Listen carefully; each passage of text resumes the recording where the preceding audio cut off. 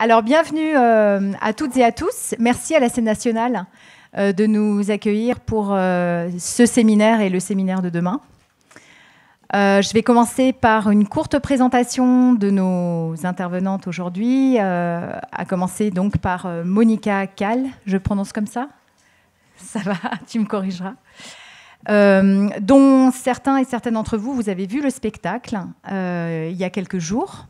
Mais pour les autres, euh, vous verrez euh, quelques images qui vous permettront aussi de, comprendre cette euh, très intéressante démarche autour de laquelle donc nos discussions vont s'organiser cet après-midi.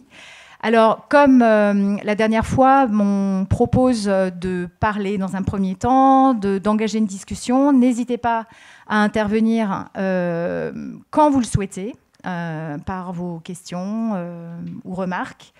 On fera une pause à un moment donné et puis ensuite on engagera euh, justement voilà, une discussion plus générale euh, avec tout le monde. Est-ce que ça vous convient?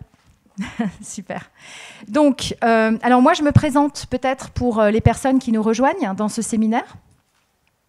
Je suis Anne Herzog, je suis maître de conférence en géographie et co-directrice d'un master qui, dont les étudiants sont très largement représentés ici aujourd'hui.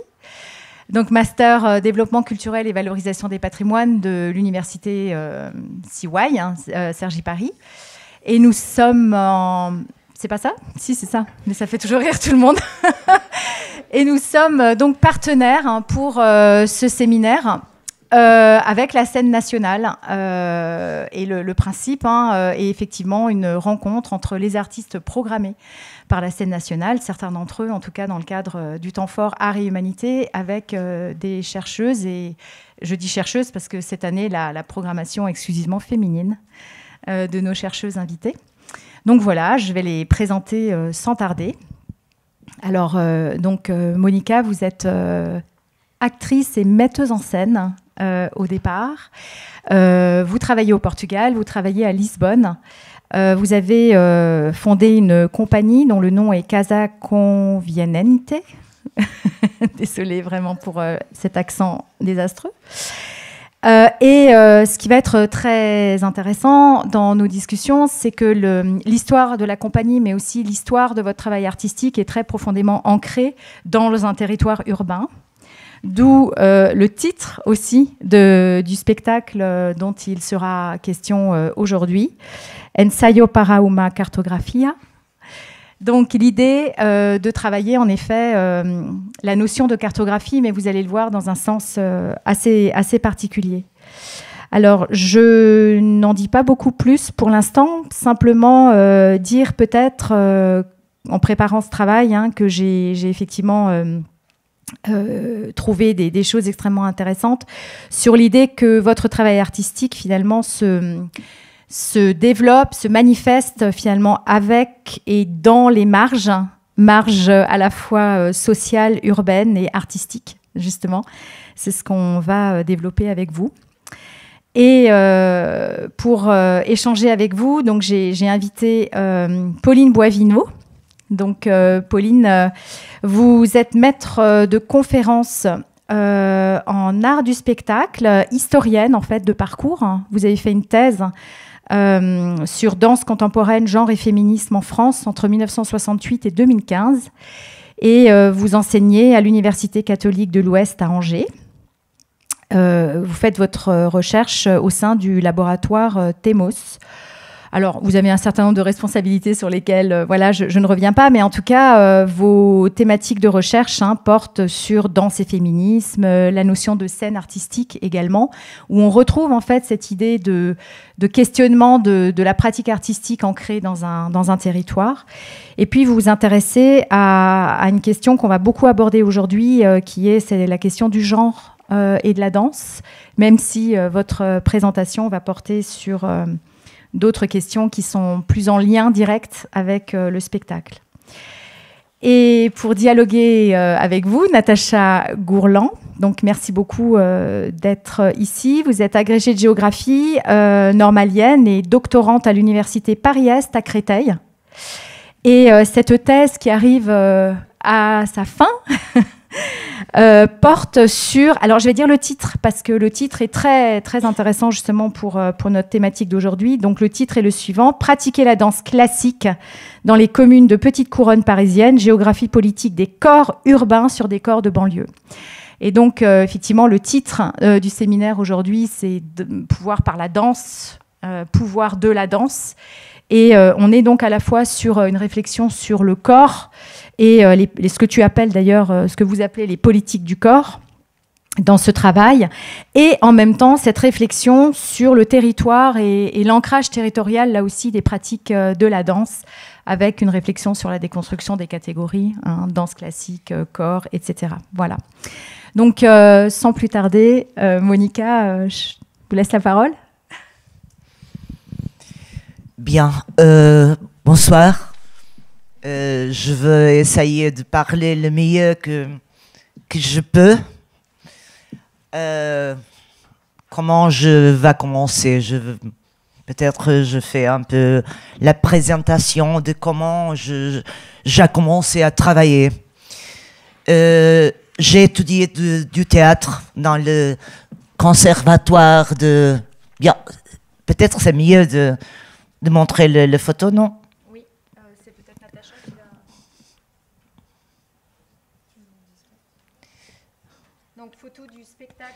A vu samedi. Ce sont les photos de, de, une spectacle, mais que cet spectacle-là, cette photo sont de d'une présentation à Lisbonne, mais euh, non dans un théâtre, dans un, un terrasse euh, tu vois la, la cité et Quelquefois, nous présentons le travail. Chaque fois, ce travail, nous avons commencé à le faire euh, à 2015.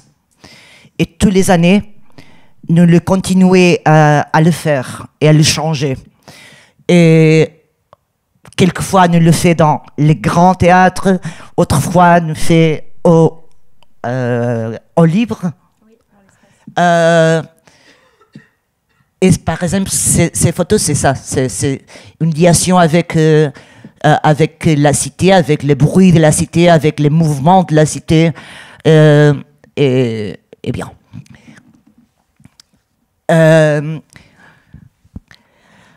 J'ai commencé à, à, étudier théâtre dans le final de 80, 80 c'est ça? 80. Ah, et hum,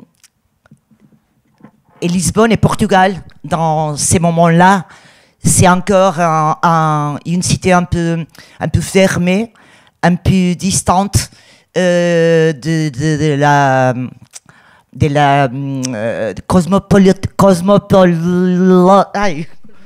cosmo pardon vous entendrez euh, les autres cités européennes c'est un moment d'ouverture et de grands changements dans la société portugaise, dans la société artistique, dans la création artistique. C'est vraiment un moment de transition. Euh, et dans le début, je a commencé à faire, euh, à chercher un lieu non conventionnel, un, lieu pour travailler parce qu'à Portugal, dans ces moments-là, c'est impossible d'avoir le financement. Euh, il n'y a pas de, de l'État. C'est impossible d'avoir argent pour euh, commencer à travailler. Et alors, toute ma génération a créé des alternatives pour commencer à créer son propre projet et son propre chemin artistique. Et une de les façons, quand, quand tu n'avais la possibilité d'avoir argent pour travailler, c'est de chercher un lieu pour faire ton propre travail. Et dans ces moments-là, je commençais à chercher un, un, un lieu abandonné.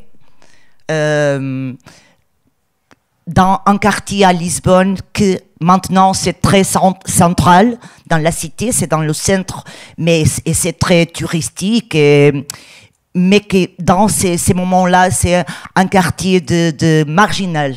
Ce n'est pas marginal de, les marginaux.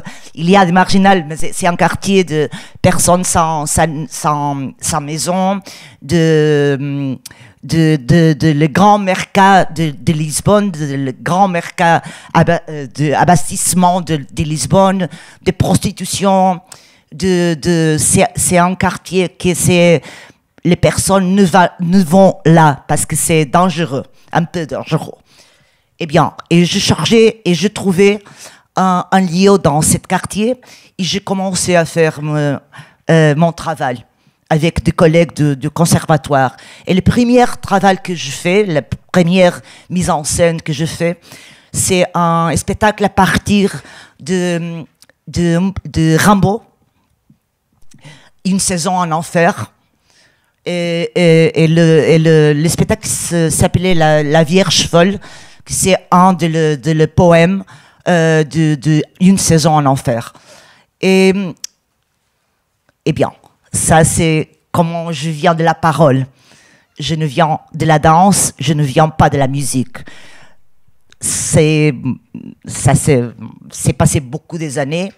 Et à 2014, euh, la cité a changé beaucoup et, je suis dans une grande crise euh, personnelle et artistique aussi. Et, et la parole, ce n'est pas à partir de la parole que je voudrais et je voulais continuer à travailler. Dans ces moments-là, j'ai demandé à quelques de les actrices, parce que toutes les personnes qui font ces spectacles ne sont pas des danseurs, sont des actrices, sont personnes qui viennent du théâtre, euh, pour me aider à continuer, à continuer à vivre, à continuer à travailler.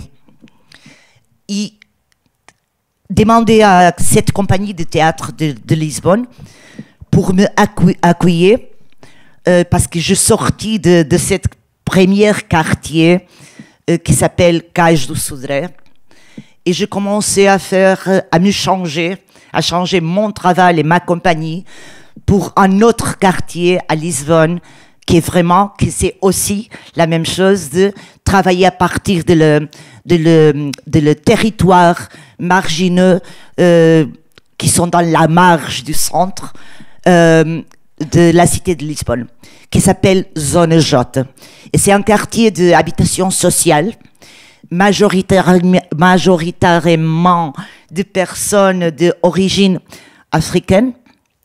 Euh, et, mais je savais que pour faire cette transition, j'ai besoin de construire une cartographie pour la cité de Lisbonne à partir de lieux artistiques.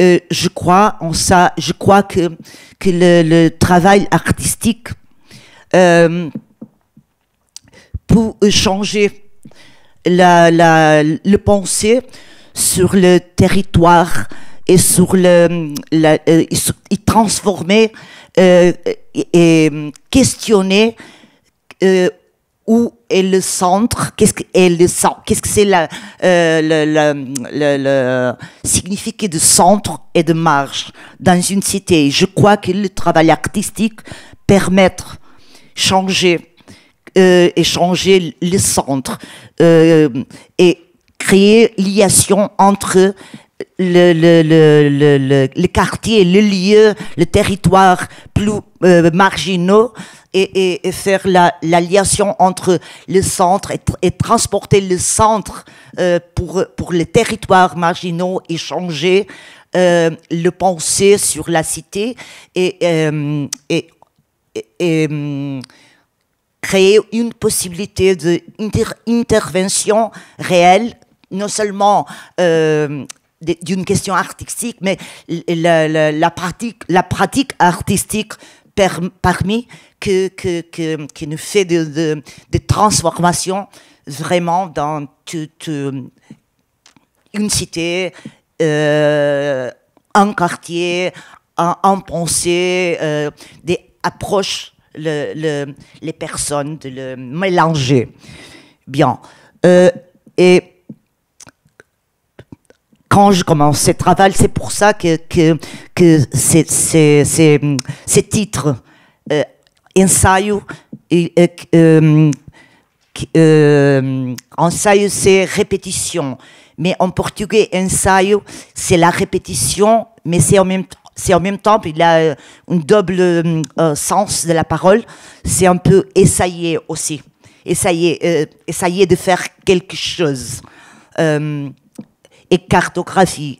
Et nous fait le, spectacle pendant une semaine, et faire cette géographie dans, dans, la cité, dans cet lieu artistique, jusqu'à arriver à, à Zone J. Bien. Et à ce moment-là, je, je, je, demandais à, à les personnes que, que fait ce travail avec moi de faire le travail pendant cette année. C'est un travail sur le temps sur la possibilité de construire un chemin ensemble euh, dans la vie, dans notre propre vie, mais dans la, possibilité de transformer ce travail pendant les années. Et, eh bien, euh, Anne, aidez-moi. Un qu'on en ait un toutes les deux. Vous m'entendez? Oui. Euh, la question que je me posais justement dans cette expérience collective, euh, c'est donc que le groupe qu'on voit sur scène aujourd'hui n'a pas toujours été le même. Il a évolué. Est-ce que vous pouvez expliquer un petit peu justement l'engagement de chacune et ce choix euh, peut-être exclusif aussi de travailler avec des femmes? Bien je, dans tout mon travail, j'ai travaillé plus avec des femmes et que des hommes. Et, et au début de, de, la construction, la première euh, euh, construction de ce travail, d'ensayo, euh, vient d'un texte de, de Bertolt Brecht, euh, le sept péchés capitaux de la petite bourgeoise. Et c'est une histoire, c'est, une pièce que Brecht euh, écrivait quand, il est exilé en États-Unis. Et c'est un musical, c'est avec la musique de Kurt Weill. Et c'est l'histoire de, du femme, Anna, Anna, Anna 1, Anna 2, qui fait un, voyage pendant sept années dans cet état des États-Unis et chaque année, c'est lié à un péché, péché capitaux mortel. Et l'objectif de ce voyage, c'est la possibilité de construire une maison et une famille. Et pour moi, et ça c'est le, le, le, la clé, quand, quand je commençais à, faire le travail, c'est en même temps cette nécessité parce que j'ai changé de lieu depuis 20 ans. C'est autrefois recommencer de nouveau. Euh, de toutes les façons, dans un théâtre, construire un nouveau théâtre, construire un nouveau langage, euh, abandonner la parole et partir des matériaux qui ne sont pas le, le nôtre. Et avoir cette euh, possibilité, euh, cette euh, confrontation avec la danse classique et avec la musique classique.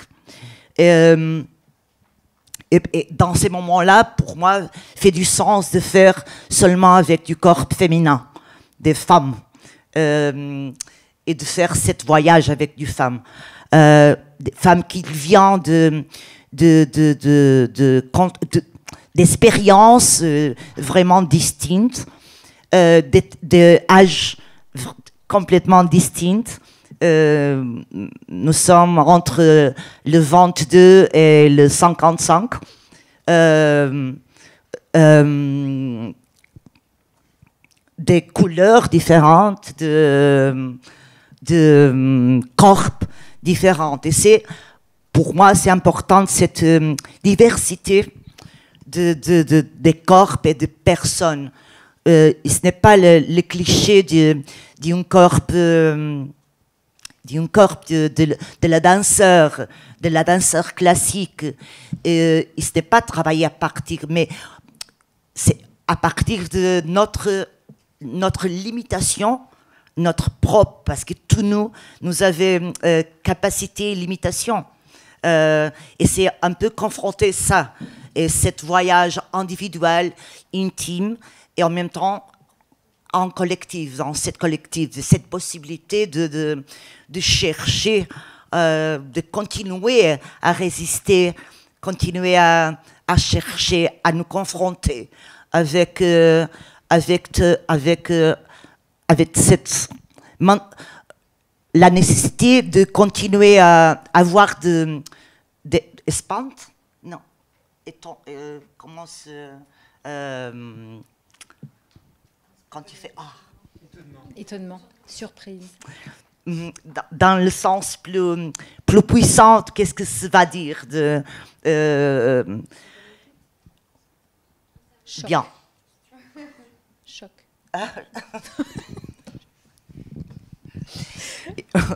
Anne, aidez-moi, s'il vous plaît. Alors, à continuer ou à trouver le mot Continuer. Euh, donc, il y, a évidemment la question euh, qui, qui s'est posée à, à toutes, euh, toutes les personnes qui ont vu le spectacle et qui était très, très marquante pour tout le monde, c'est le, les corps féminins et les corps nus. Justement, quand on a, quand on a préparé le séminaire, vous nous avez parlé aussi de ce choix de la nudité qui s'inscrit aussi dans une démarche longue et, qui est aussi lié, si j'ai bien compris, à l'origine euh, urbaine de, la compagnie et de ton travail, non? Oui, la question de la nudité, c'est quelque chose qui s'est présent dans, le, premier travail que je fais, les corps non comme non regarder le corps nu comme d'une façon érotique ou euh, dans un cliché. Qu'est-ce que c'est un corps nu, un corps féminin ou masculin nu, mais cette possibilité de, de, de, vraiment de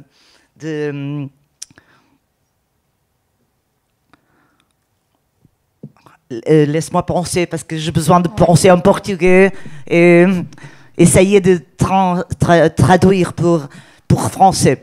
Euh, c'est la question de, en même temps, de partager. Je, ne crois pas dans la, différence entre, entre l'esprit et les corps, euh, entre l'âme et les corps. Pour moi, ils ne sont pas des choses séparées, ils sont la même chose. Et dans, dans certain sens, pour moi, c'est inversion. Et pour, parce que je le crois, je crois en Dieu et je suis chrétien. Et, en même temps, c'est cette unité entre, entre euh, la totalité dans, dans la, la, totalité, la mortalité de, de, le, de le, les, les, humains, les personnes.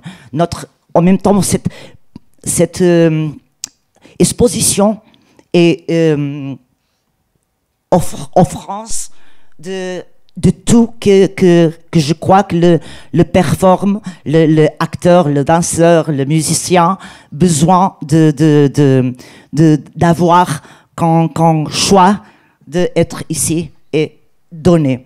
Et, et pour moi, la nudité, c'est ça. Et cette possibilité en même temps de, de, de donner des autres lectures, de donner à notre possibilité de, de, de n'avoir c'est un peu déshabiller tous les possibles masques, masques, masques, Et, et, et, et, ça, c'est une chose importante dans, dans, dans mon travail, euh, sens dans le début. Euh, et évidemment, quand je a commencé, je suis très jeune, j'avais 25 ans, maintenant j'ai 5 ans, 55 et, bien, et pour moi, euh, euh, travailler sur mon corps, parce que je, presque tous les spectacles, non tout, mais la majorité, je, suis actrice aussi, euh, de, partager en même temps et de travailler sur la transformation de mon propre corps et le corps des actrices aussi, parce que pendant, depuis huit ans, tout notre corps, tout notre euh, âge, ils ont changé. Il y a personne qui a commencé à faire ce travail avec 23, 24, qui a, maintenant ils avaient 30 personnes qui ont commencé à faire ce travail avec 30 ans, qui a 40, personne qui a la 40 et, et maintenant il a 50. Euh, il y a aussi une des actrices qui a fait le spectacle enceinte avec 8 euh, mois de, de, de, de 8 mois avec son bébé. C'est un fil aussi. eh bien, c'est pour moi, et je veux continuer à faire ce travail, et je le voudrais continuer à faire jusque, bien, euh, continuer à le faire euh, durant les années. Et nous sommes 20 actrices à faire ce travail. Chaque fois que je le fais, je, le je change, je change, je choix euh, de, de, de les personnes. Eh bien, et ça, c'est un peu comme ce, chaque fois que nous le fait, nous, c'est un peu recommencer, euh, recommencer toujours, recommencer le travail, recommencer euh, à essayer, à, à, à, être, à, à, quelques de nous sont capables d'aller plus loin, les autres, euh, bien, je ne sais pas comment je peux faire ce travail quand euh, j'ai 65, c'est une autre chose. Mais, mais pour moi, c'est important et je crois que le travail est besoin. Nous, sommes, je, crois, tout pressionnés à montrer la vie est chaque fois plus rapide. Euh, et, il y a une pression énorme de changer tout le temps, de montrer tout le temps de, de, de, de nouvelles choses, comme si euh, travailler sur un objet et qu'on personne, qu'on les mêmes personnes pendant les années, pendant parce que je crois que ça c'est le, le, les vraies hum, inscriptions dans, dans, dans, dans, le travail, dans les personnes qui le font, dans les personnes et la possibilité, qu'est-ce que qu'est-ce que ça donne de partager avec le, le, le public? Et, et, et, pour moi, c'est, en même temps, c'est, j'ai besoin et je crois et je lutte avec, avec euh, cette nécessité de, de changer tout le temps, de présenter tout le temps une chose différente, une chose nouvelle. Et tu fais aller, et après tu fais un peu comme zapping. C'est euh, cette pression de, de, de, de et bien. Je vais te laisser reprendre ton souffle, mais justement, quand même, une dernière question qui fera transition avec euh, l'intervention de Pauline. C'est, euh, bah, il y a une autre chose qui, que tu reprends du passé et qui a un côté comme ça aussi très durable, c'est le boléro. Donc, ma question, c'est pourquoi ce choix euh, du, boléro notamment, parce qu'il y a beaucoup d'autres choses dans le spectacle, hein, notamment en référence artistique, mais pourquoi le boléro particulièrement? Et puis peut-être qu'après on passera la parole à Pauline. Bien, le boléro, pourquoi le boléro? Le boléro, c'est le dans, la musique, la musique c'est le, plus grand crescendo de l'histoire de, de la musique c'est un mouvement qui c'est en même temps une, un, chemin. C'est une possibilité. C'est la, musique fait un, chemin. Euh, il, fait ça. Euh, il, et le boléro avait cette, cette euh, possibilité de, de c'est un peu hypnotique en même temps. En même temps, il donne une une force, une joie. Parce que la joie, c'est vraiment important dans le, travail aussi. La frustration, mais en même temps la joie. Et, euh, et il y a aussi dans les boléros cette, cette marche, cette, cette, cette c'est ça, c'est la musique il fait ça tout le temps, il continue, il va, il avance, avance, avance, avance. Euh, et, et, pour moi, la, possibilité de boléro aussi, parce que nous a parti d'une façon très petite de, la chorégraphie de, de Béjar, bien, s'est réduit le, mouvement à une chose très, très basique, euh, répétitive, parce que la répétition, la, la, qualité de la répétition, euh, la répétition parmi que, que les choses se transforment, euh, c'est une des qualités de la, de la répétition. C'est la possibilité de gagner des différents sens, euh, d'aller plus profondément, euh, de, de possibilités aussi que les personnes qui voient le travail se relationnent individuellement, individuellement avec le travail, avec les choses qui sont propos, d'une façon non mentale, mais, mais émotionnelle. Et le boléro parmi ça, comme la musique parmi ça, comme la danse euh, et la répétition parmi ça. Bien, je ne sais pas si... si euh, Merci beaucoup. Est-ce que euh, vous voulez poser une question avant qu'on passe justement à la présentation suivante? Oui? Ah, micro, micro, micro. J'ai juste une question de compréhension sur le, changement de plus, en plus rapide. Euh, j'ai du mal à comprendre si pour vous c'est une pression enfin, vous le subissez ou si au contraire vous, êtes vous avez envie d'aller dans cette direction de cette société qui, va, qui a envie de proposer des choses de plus en plus nouvelles en permanence Voilà, juste une question de clarification. Est-ce que l'accélération de, de, cette société qui, qui, nécessite le changement permanent et toujours plus rapide que tu décris, est-ce que tu le critiques ou est-ce que tu veux y participer? Expliquez-moi autre, fois, pardon. Euh, Adrien, vous pouvez reformuler peut-être? J'ai du mal à, saisir si vous subissez en fait la vitesse de la société qui est toujours de plus, en plus rapide, ou au contraire vous avez envie de, de vous ancrer, d'aller dans ce mouvement de plus en plus rapide? Tu as parlé de, changement, d'une nécessité de cette société qui, qui doit toujours changer de plus en plus vite. Zapping, tu as parlé du zapping. Est-ce que tu souhaites euh, y participer?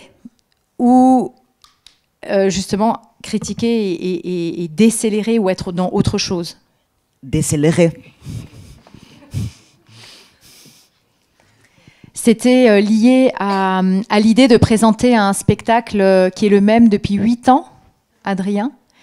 C'est ça, hein, le, même le, même, le, même spectacle depuis huit ans avec des personnes qui sont les mêmes depuis euh, huit années, mais en même temps avec des, petits changements, des modifications qui sont liées aux modifications des corps, qui sont liées aux au, changements apportés parfois de détails aussi dans le spectacle d'une performance à l'autre, si j'ai bien compris.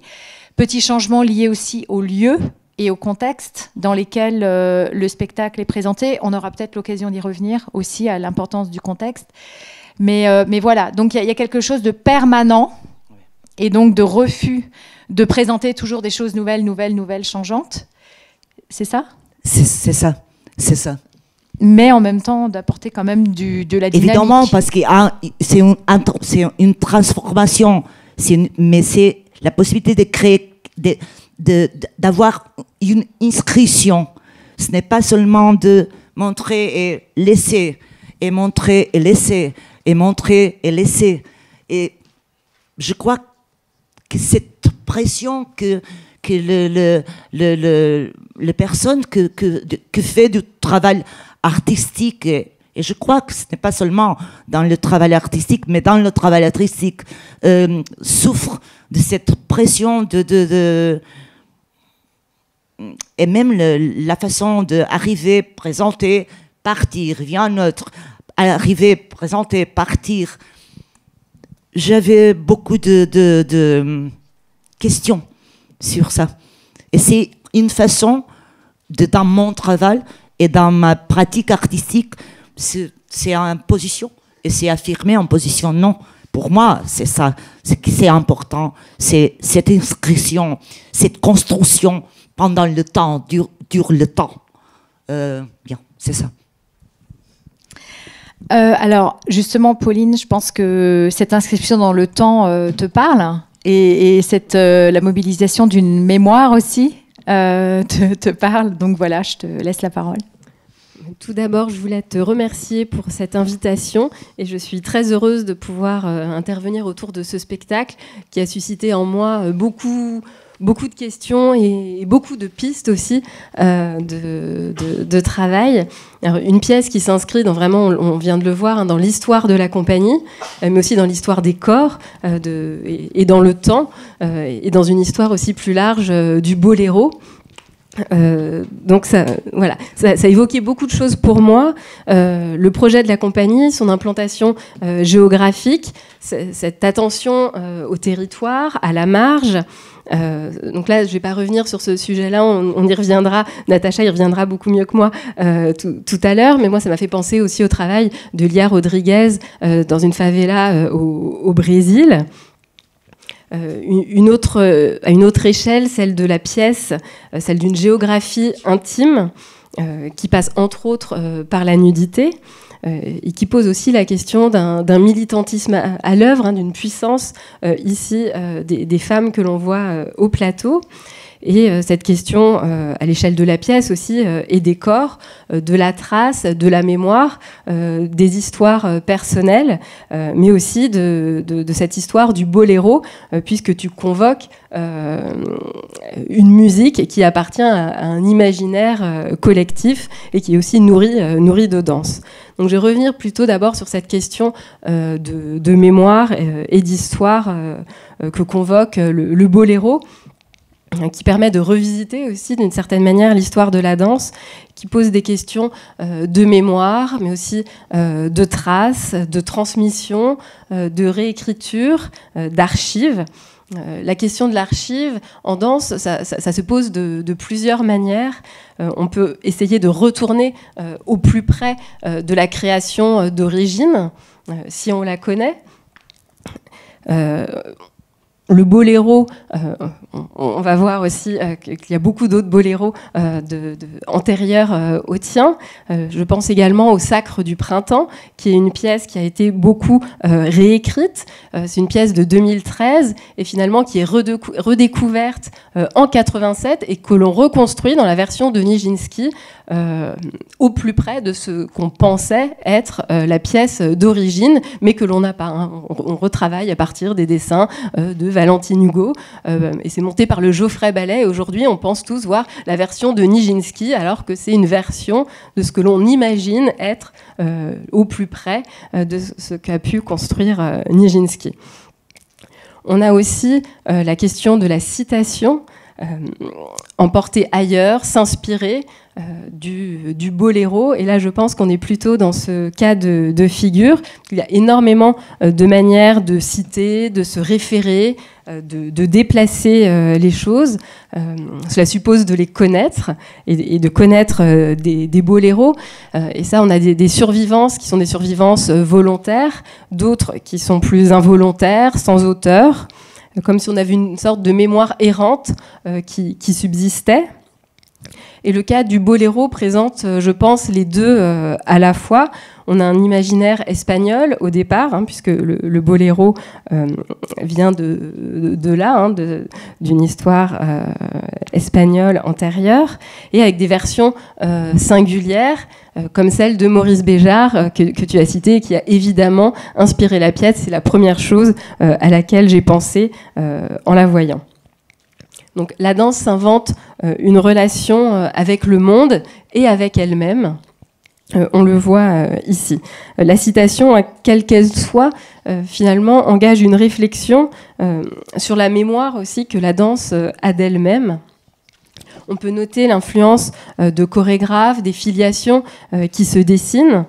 Euh, mais il est important de voir aussi comment une danse s'élabore et trouve sa propre, propre origine en s'inscrivant euh, dans, une histoire qu'elle fait plus ou moins euh, apparaître. Et la transformation des œuvres va être liée au contexte esthétique, gestuel, mais aussi social, culturel et politique euh, au moment où elle, euh, elle, se situe.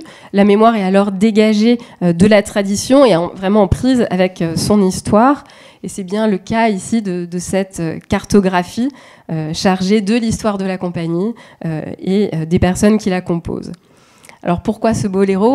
On, en a un petit peu déjà parlé. Et à quelles conditions de reprise, de relecture, d'appropriation quel sens cela a euh, et quel effet produit, quel effet de déplacement euh, cela produit euh, au plateau?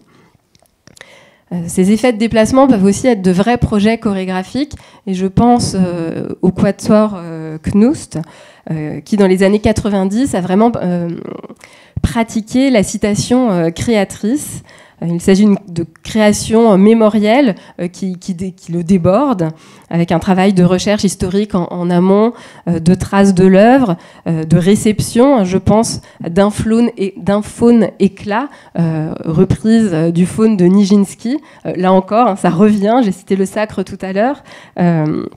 Nijinsky de, nouveau, et on va voir que les ballets russes ne sont pas anodins dans cette histoire. Euh, il s'agit d'organiser aussi des anachronismes, de disséquer l'œuvre pour faire des choix, euh, opérer des sélections. Euh, est-ce que l'on va garder, s'inspirer des bras, par exemple, du décor garder euh, quelque chose de l'ordre du visuel. Euh, qu'est-ce que l'on garde, qu'est-ce que l'on ne garde pas, qu'est-ce qui inspire, euh, comment finalement on, parcellise une œuvre pour s'inspirer et garder quelque chose qui, en fasse une œuvre citationnelle, et ce qui est le cas dans, le boléro. Hein, dans ce premier mouvement, avec euh, des danseuses. On n'a pas vu de vidéo, mais vous avez pour la plupart vu euh, le spectacle. Hein. on a euh, ce, rythme dans les pieds, ce bras qui monte, qui, qui, renvoie aussi vraiment au boléro de Maurice Béjart. Je pense au boléro euh, comme euh, lieu de mémoire aussi euh, de, l'art chorégraphique. Alors lieu de mémoire, hein, c'est l'historien Pierre Nora qui, employait cette expression et que Stéphanie Gongalbès a, aussi repris en travaillant sur le boléro de, de, Maurice Béjart. Donc c'est le passage d'un monde hispanisant à la modernité qui fait date chez Maurice Béjart, puisqu'en 61, euh, lors de la création, euh, les critiques parlent déjà d'une œuvre qui fera date dans l'histoire de la danse. Donc ça, normalement, on ne peut pas le savoir a priori. De fait, c'est une œuvre euh, qui a fait date. Et la citation va faire appel à, à la subjectivité euh, de l'auteur et cette œuvre qui fait date effectivement va nourrir un certain nombre euh, d'œuvres. Mais subjectivité de l'auteur mais aussi du spectateur puisque moi en tant que spectatrice j'ai aussi convoqué tout un imaginaire que, que je pouvais avoir euh, de l'histoire de la danse. Donc à chacun son histoire, à chacun ses références et c'est aussi un endroit où on a une vraie liberté euh, pour, euh, pour le spectateur, qui est plus ou moins euh, alimenté par des feuilles de salle ou par un discours, une explication que l'on peut avoir ici aujourd'hui. Donc retracer l'histoire du, boléro va permettre finalement d'ancrer un petit peu l'œuvre que, vous avez pu voir cette cartographie euh, au, sein de, cette histoire, mais aussi d'autres questions euh, comme celle de la nudité en scène. L'attractivité du boléro pose question par son caractère universel, mais également sacré, qui est créé sur une, base rituelle. Un projet qui s'inscrit dans une histoire de l'art, une histoire de la musique, mais aussi une histoire de la danse, et dont on retient en premier lieu euh, la puissance.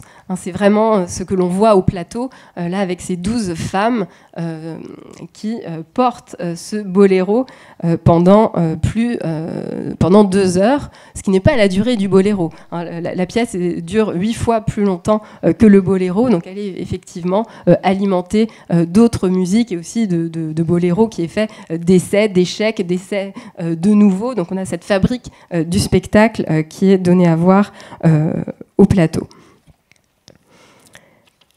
Donc le boléro fait partie de la mémoire des élites à partir des années 30, puis de, de, la mémoire d'une culture populaire. Elle est doublée d'une mémoire visuelle et popularisée par le film de Claude Lelouch, Euh, non, non, pas.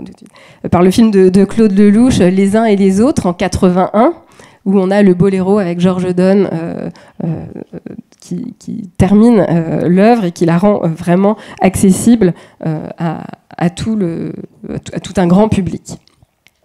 Donc je vais commencer par ce premier boléro finalement chorégraphique qui est celui de Nijinska, sœur de Nijinsky.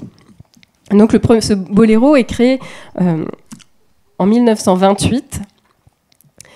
Donc boléro, dans ce qui apparaît en Espagne au XVIIIe siècle et qui doit aujourd'hui sa renommée et sa majuscule euh, à euh, Maurice Ravel. Et avant de reprendre son autonomie, hein, cette musique est créée pour un ballet, donc en 28, et c'est Ida Rubinstein, danseuse et égérie des ballets russes, euh, qui, en demande, qui en commande la partition à Ravel et euh, la chorégraphie à Nijinska. Donc au départ, on est bien sur une commande euh, pour la danse. Donc Alexandre Benoît, qui réalise les décors, les costumes des ballets russes, Bronislava Nijinska, pour la chorégraphie, imaginèrent ensemble un livret différent de celui envisagé par Ravel, qui lui situait l'action euh, à la sortie d'une usine avec des hommes qui entraient progressivement dans la danse.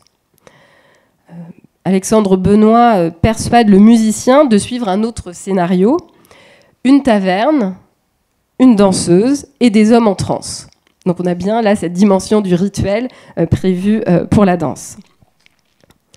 Vous avez ici une citation d'André Levinson lors de la première représentation euh, donnée euh, à l'Opéra Garnier. Euh, je la, je, la, lis peut-être pour, pour l'enregistrement. L'action dansée se passe sur une table massive, dans un cercle de lumière tombant d'une immense suspension. La danseuse, telle une, somnambule, ne cesse pas un instant de reproduire le mouvement, constamment le même. Le décor du cabaret espagnol, discret, monochrone, ne sert qu'à répartir la clarté, à approfondir, l'ombre.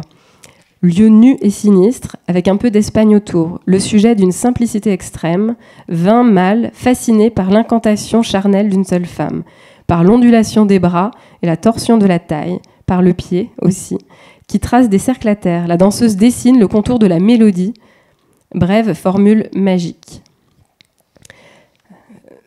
Donc là, on a vraiment cette référence à l'Espagne qui est présente dans ce boléro, qui va par la suite être euh, évacué au profit d'une dimension euh, plus rituelle, euh, universelle.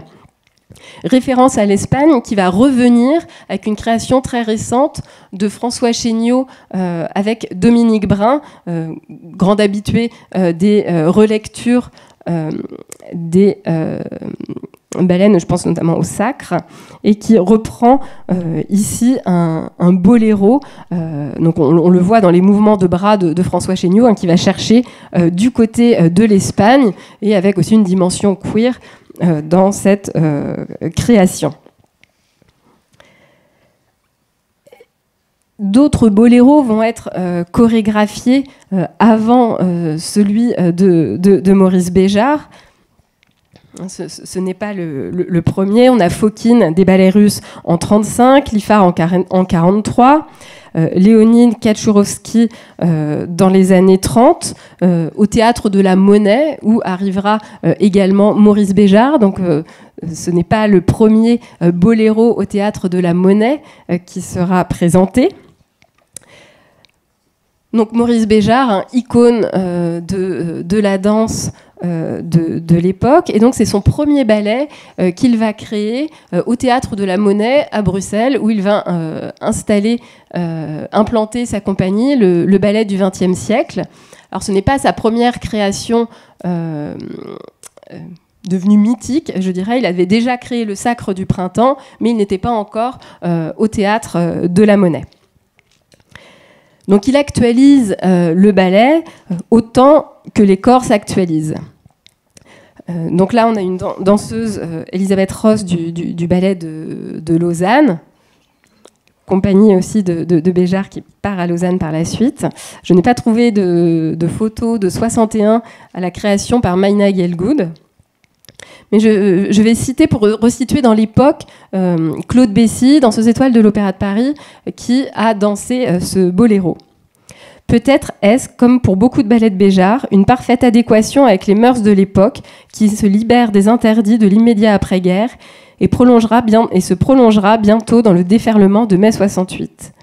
Donc on a bien ici cette idée de libération. Il faut resituer hein, la, danse dans les années 60 où le classique est encore euh, largement dominant ce boléro représenterait donc une vraie euh, libération.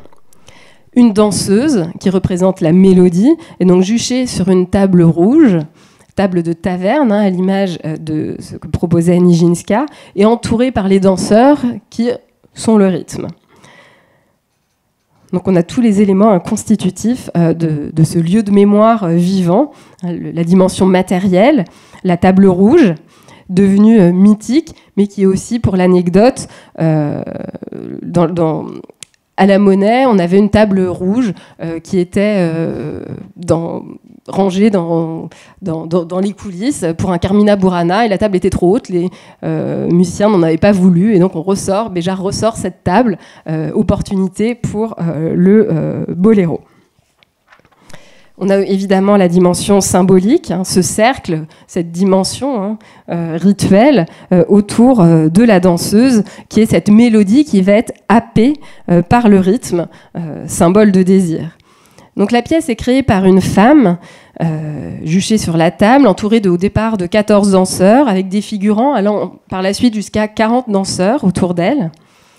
ce point de départ qui est un certain érotisme, avec un corps qui semble s'offrir en résonance euh, à la musique, la danseuse une sorte de pitié sur son trépied et suscite le, désir des mâles qui se ruent sur elle euh, au final, hein, mêlant euh, érotisme et sacré. Donc on a trois versions de ce boléro. le boléro avec, créé à l'origine par une femme entourée d'hommes. Le boléro a ensuite été repris en 79 euh, par un homme, Georges Donne, euh, le danseur euh, phare de Maurice Béjart, entouré de femmes, où on, a aussi le boléro dansé par un homme entouré d'hommes. On n'a pas la version femme entourée de femmes. Et les lectures là sont très différentes. si l'on on a tous ces hommes autour avec une femme au milieu ou un homme au milieu, effectivement, ça fait pas la même montée du désir. Avec Georges Donne au milieu, il y a quelque chose de l'ordre du d'un dieu laïque euh, euh, sur, sur, la table. Et euh, avec une femme, on a cette puissance aussi du désir des hommes autour. Donc là, on a un regard qui change pour la, chorégraphie qui, elle, ne change absolument pas. La chorégraphie est exactement la même, qu'elle soit dansée par des hommes ou par des femmes. Donc beaucoup, beaucoup de danseurs ont dansé ce boléro. Donc on voit ici euh, Georges Donne. Euh, je pense également, euh, donc là on a Georges Donne, Maya Plisetskaya, Nicolas Le Riche et Sylvie Guilhem. je pense à Maya Plisetskaya qui t'a inspiré pour cette pièce. Maya Plisetskaya qui est donc une danseuse russe qui a dansé le, le boléro donc au Bolchoï, spectacle qui est alors jugé comme étant de la pornographie. Euh, le degré d'émancipation féminine euh, qu'il représente euh, là est important en territoire soviétique. Maurice Béjart incarne aux yeux du ministère de la Culture de la ministre Ekaterina Fortseva le dieu et le sexe, je cite.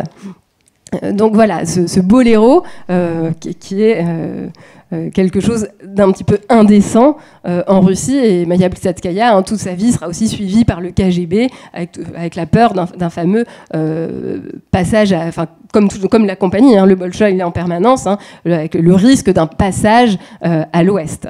On a, ce, précédent de Nouriev qui, qui passe à l'ouest justement en, en 61. Donc à chaque époque son contexte, mais je, pense que c'est vraiment important euh, le contexte dans, lequel se, produit euh, une œuvre et, le territoire qui est euh, effectivement très différent suivant, suivant les, époques et que la géographie se joue évidemment à plusieurs, à plusieurs échelles. Et donc dans ce boléro, alors je montre juste quelques photos encore. Euh, où, l'on arrive, hein, là, ce crescendo euh, qui, monte euh, avec le, danseur qui est la mélodie et, ce rythme autour, avant d'être englouti, cet acmé final, avant de s'écrouler sur, sur la scène. Donc œuvre citationnelle, pas seulement le, boléro, mais, ta pièce m'a fait penser à d'autres, créations euh, aussi, et je pense à, Révolution euh, d'Olivier Dubois, euh, qui questionne la masse ouvrière de l'art. sur scène, 14 danseuses accrochées à autant de barres verticales se mettent en mouvement autour de cet axe donc on a une révolution, révolution copernicienne euh, autour de, cette barre sur la musique du boléro pendant deux heures un quart. Et là, on n'a que le boléro. Donc euh, ce, boléro qui est extrêmement étiré, allongé, qui me fait aussi penser à ta pièce, qui étire complètement cette question et, et, qui joue sur la répétition et l'épuisement, l'épuisement des danseurs, mais aussi l'épuisement du spectateur avec cette notion de résistance qui va devenir, euh, devenir centrale. Et là aussi, on détourne les codes, on détourne le code de l'éros, de cette barre qui pourrait être euh, une barre de pole dance, euh, et qui, là, joue un rôle différent. La barre, c'est aussi d'une autre manière, c'est l'instrument du danseur, effectivement, de, ce travail à la barre. Donc il y a toute cette symbolique euh, qui est euh, transposée, euh, transposée ailleurs. Et c'est aussi le symbole du travail, du labeur de, ces danseurs-là qui rentrent dans une course, dans une vraie endurance de deux heures un quart, ce qui est extrêmement long pour un spectacle de danse contemporaine. Aussi, on est hors des formats habituels. Donc les danseuses tiennent le rythme, hein, peu à peu la composition euh, musicale se développe, elle se détache des barres, euh, exécute des phrases chorégraphiques de plus en plus complexes. Et on a une rotation euh, envoûtante, voire jubilatoire, au sens sportif du terme. Donc on est aussi sur la base d'une marche, d'une marche autour euh, de, ces barres. Marcher, c'est risquer de tomber, euh, se reprendre, insister. Donc là, on a bien la question aussi de, l'essai euh, que l'on retrouve dans, ton travail, Monica. Et, c'est une formule hein, d'Olivier Dubois de, ces corps qui représentent la masse ouvrière de l'art, solidaire, instinctive, universelle. Il voit le boléro comme une musique de bataillon qui embarque le spectateur euh, dans, un, dans un cycle qui est infini, qui, qui, se reproduit sans, sans, jamais revenir exactement au même endroit, qui se déplace. Euh, une révolution qui fait partie d'un projet euh, plus ample euh, qui se développe autour du concept d'humanité euh, aussi pour Olivier Dubois. cet hommage à l'acharnement que j'ai trouvé vraiment en commun dans, ces, deux spectacles. voilà.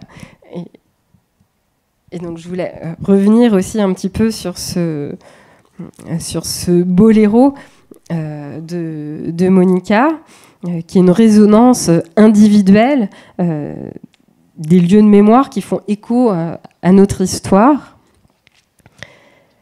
Donc là, on est entre une dimension individuelle et collective, puisque les danseuses euh, font corps commun, vraiment. Euh, au départ, elles sont euh, toutes ensemble dans une, forme pyramidale, hein, une au centre et toutes les autres derrière, solidaires, dans un même mouvement, avec néanmoins des singularités qui apparaissent. On n'est pas dans ce corps de ballet parfait avec tous les bras au même niveau, mais on est quand même dans ce même mouvement, dans ce même essai que l'on fait ensemble.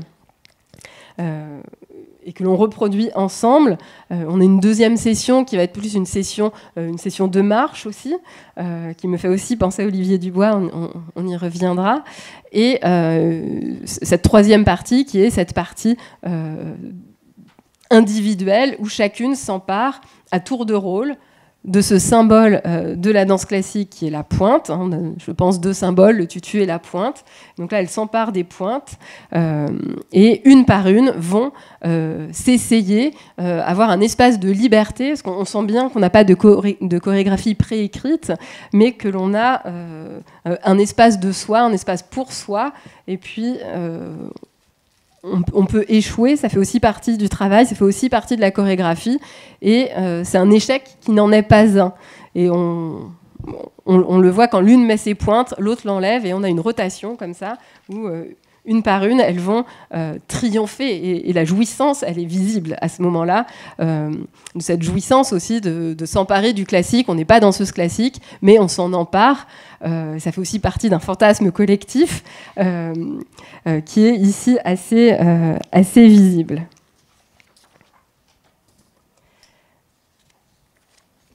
Avec cette,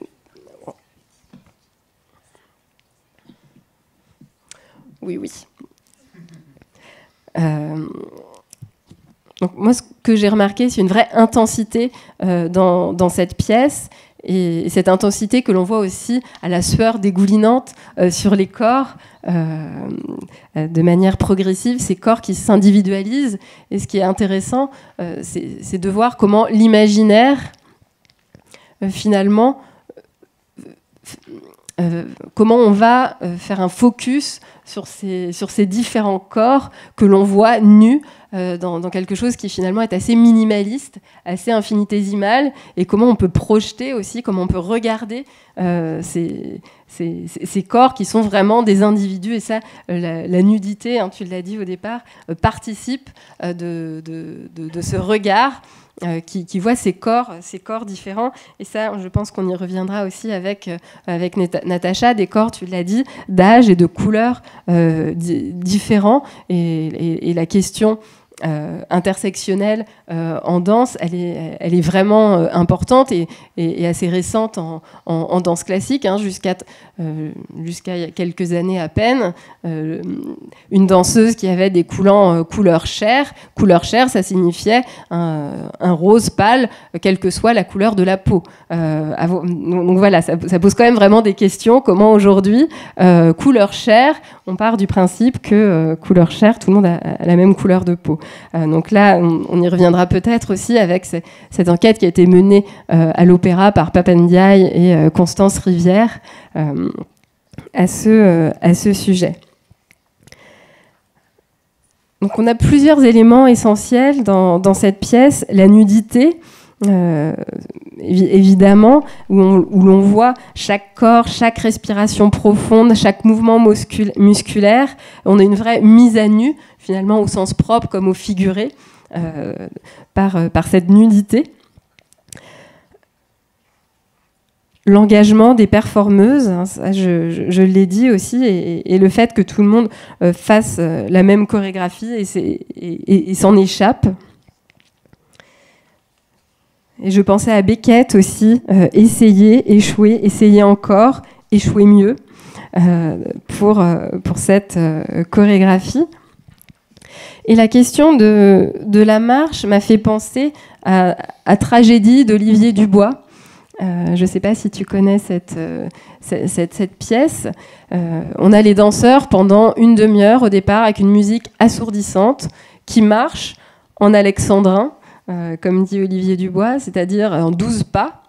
Euh, et qui marchent et qui repartent et qui remarchent et qui ressortent et qui repartent avec des jeux de décalage. Hein. donc c'est euh, quelque chose vraiment mathématique pour les danseurs hein, qui doivent savoir quand ils vont rentrer, sortir. Et du coup, une demi-heure. Euh, on, fait un petit peu l'archéologie de ces corps. on regarde si donc je parle d'expérience aussi de spectatrice, hein, puisque pendant une demi-heure, on a juste des corps comme ça qui avancent, qui reculent, qui avancent, qui reculent. donc ça, cette marche, qui est aussi la marche, qui aussi euh, extrêmement symbolique. Hein. Les marches, aussi les marches militantes, c'est les processions, c'est euh, voilà, c'est lourd de, symboles. C'est aussi ce qu'il y a de plus quotidien euh, qui arrive dans la danse. C'est le corps ordinaire qui est aussi notre corps que l'on a devant nous. Et l'on regarde, est-ce que finalement le bras droit se balance un peu plus que le bras gauche? On, a un petit peu le, le l'imaginaire qui, va aller sur les corps de manière ce qu'on ne fait jamais au quotidien, ce qui n'arrive pas d'avoir le temps de, d'observer ces corps comme cela, qui sont dans, dans, leur rythmique et qui donnent une puissance impressionnante à cette danse qui ne trouverait pas de sens sans, sans cette nudité. évidemment, j'ai prévu dix fois trop long. on, reviendra sur euh, cette question euh, euh, de, la nudité, le nu qui est la statuaire, quelque chose de, désérotisé, euh, en quelque sens. Là, quand on passe à la nudité, on passe du côté du vivant, de l'immanent, hein, loin de la transcendance de, de, l'art fixé sur image ou en sculpture. Donc là, on a quelque chose d'extrêmement vivant, et tu l'as dit aussi, de, de, ce corps vivant, mais immortel, et, donc de ce corps humain. Euh, donc là, c'est la question de l'humanité, évidemment, euh, qui est en jeu dans, dans cette question-là, et, et, de savoir si la nudité Qu'est-ce qu'elle fait? Elle est transgressive. Alors sur un, plateau de théâtre, c'est encore autre chose, elle est autorisée, mais euh, voilà, il y a cette question de la transgression, voire de la subversion euh, qui se pose avec, euh, avec la nudité. J'avais prévu de faire un petit peu une histoire de la nudité en danse, mais je pense que ce sera pour un autre séminaire.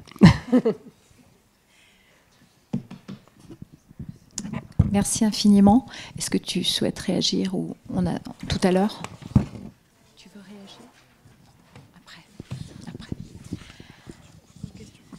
Est-ce que cette euh, intervention a suscité des questions, une ou deux questions en direct? Ou alors on passe euh, à la dernière présentation qui, va reprendre en fait hein, euh, un certain nombre de, questions qui ont été évoquées. Et donc notamment la question de à la fois de la diversité, de la norme, en danse et peut-être euh, d'un certain nombre de décentrements, à la fois euh, sociaux, artistiques et géographiques. Donc je te donne la parole, Natacha. Ça fait un sacré programme dans le temps qui m'est imparti. Euh, donc on va s'accrocher ensemble pour essayer de balayer un peu toutes ces thématiques. en tout cas, merci beaucoup à toutes les trois. Donc, moi, c'est Natacha Gourland. Je suis ravie d'être avec vous aujourd'hui. Je suis doctorante en géographie, euh, donc euh, ça veut dire que je fais une thèse de géographie sociale et culturelle à l'université euh, Paris-Est Créteil, où j'enseigne également. Et moi, mes thématiques de recherche, c'est plutôt donc en géographie sociale, en géographie culturelle. Et ma thèse porte sur les pratiques de danse en banlieue parisienne. Et aujourd'hui, en fait, je suis ravie d'être parmi vous et d'avoir pu voir le spectacle de Monica.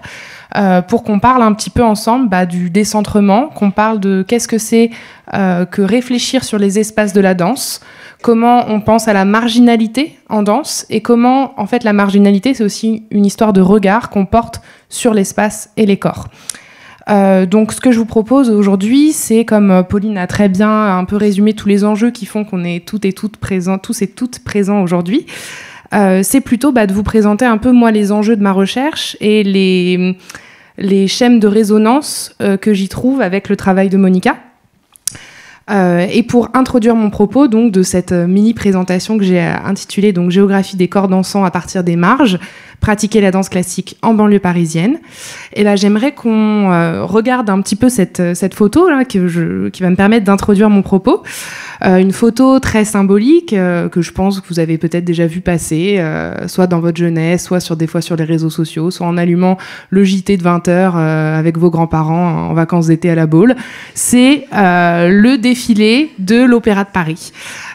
Qu'est-ce que c'est donc le défilé de l'Opéra de Paris? C'est un événement annuel qui est organisée par la plus grande compagnie de France. Hein, euh, L'Opéra de Paris, c'est la compagnie en France qui emploie le plus de danseuses et danseurs permanents.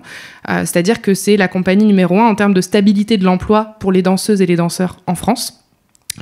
et si on regarde cette photo, bah, il y a déjà plusieurs choses qui nous sautent aux yeux. Euh, tout d'abord, on va parler de la monumentalité en fait de, l'endroit. Euh, là, on se trouve euh, au pied du grand escalier du Palais Garnier. Donc, le Palais Garnier, c'est un bâtiment qui a été construit sous la Troisième République en 1875. C'est un bâtiment qui est chargé d'histoire, qui est un peu le symbole du renouveau de Paris, de la modernité, de la puissance aussi culturelle de la France à cette époque-là, qui est aussi une époque coloniale. Hein. Je vais parler aussi beaucoup d'approches postcoloniales, de racialisation dans le dans le temps qu'on va passer ensemble. Euh, donc on voit cet espace euh, monumental qui est un haut lieu de la culture parisienne, de la culture parisienne pardon. Euh, le terme de haut lieu, on l'emploie beaucoup en géographie pour parler des espaces symboliques hein, qui ont des valeurs qui leur sont attachées, tout, un système de, de chaînes de pensée, d'imaginaire qui sont très forts et qui se transmettent. Euh, sur cette photo, on voit évidemment des gens. Euh, c'est l'intérêt aussi de la géographie. Hein. C'est une science sociale, donc on ne parle pas que d'espace, on parle de la manière dont l'espace est approprié par des acteurs. Et sur cette photo, donc, on voit quoi? Euh, La hiérarchie de l'Opéra de Paris. L'Opéra de Paris, c'est une compagnie qui est très très hiérarchique, un peu au même titre que l'armée. au premier plan, vous distinguez les danseuses étoiles et les danseurs étoiles, donc c'est un peu une profession d'élite. Hein. Il y en a très peu qui sont élus à ce stade des fois pas un ou deux par année. Euh, en arrière-plan, vous distinguez donc euh, toute la hiérarchie qui se décline, donc à savoir euh, première danseuse et premier danseur, sujet, coryphée, quadrille, et tout en arrière-plan, en haut de la photo, les élèves de l'école de l'Opéra de Paris située à Nanterre aujourd'hui, à savoir les petits rats de l'opéra. Donc en fait, cette photo, elle nous transmet aussi tout un système de culture légitime, bien établi, euh, dans la centralité. Et euh, spontanément, dans notre imaginaire, euh, quand on pense à l'Opéra de Paris, enfin à la danse classique, on pense à l'Opéra de Paris en France, ou en tout cas on pense à un réseau d'institutions mondialisées fortement rattachées aux sociétés occidentales. D'accord? Donc c'est important d'avoir en tête que quand on parle de danse classique, on parle d'une transmission académique très puissante où il y a des jeux de normes, il y a des jeux de corps, il y a des jeux de discipline et de disciplinarité des corps euh, qui se transmettent depuis euh, des générations. Donc en fait, à partir du moment où on a dit ça, on est déjà dans une géographie. Euh, pourquoi? Parce qu'on commence à spatialiser les choses, on commence à introduire un centre et des périphéries.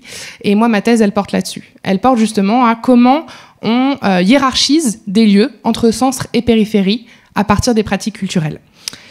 Euh, ce qui m'a poussé aussi, moi, à faire mon travail de thèse euh, et donc à travailler sur les pratiques dites de culture légitime euh, à partir de la banlieue parisienne, bah, il y a plusieurs choses. moi, j'ai grandi en banlieue parisienne, j'ai fait de la danse en banlieue parisienne et j'étais confrontée régulièrement à des espèces de préjugés qui réduisaient constamment la banlieue parisienne à certaines esthétiques euh, comme si c'était forcément des esthétiques qu'on associait euh, à des populations populaires, euh, descendant de l'immigration. Donc forcément, quand on fait de la danse en banlieue, on fait du hip-hop.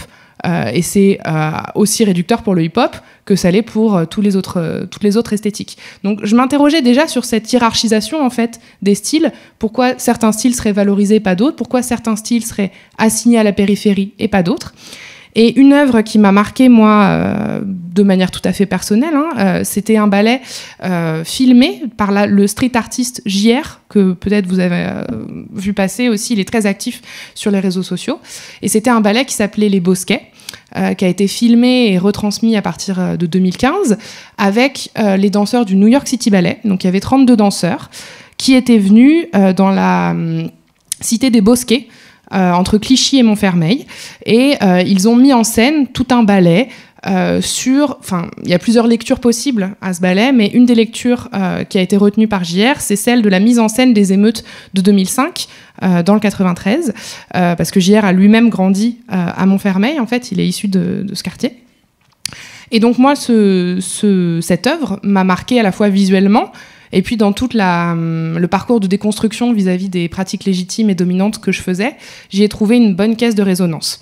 Alors pourquoi je parle de pratiques légitimes, de, pratiques dominantes? Euh, parce que bah, la danse classique, euh, c'est une danse institutionnelle. Euh, quand on parle de hiérarchie des pratiques culturelles, en géographie, on s'inspire beaucoup de la sociologie, et notamment de la sociologie critique. Et donc là, je fais appel à vos souvenirs peut-être de terminale, ou même vos lectures personnelles sur Bourdieu, le capital culturel, le capital symbolique, le capital économique.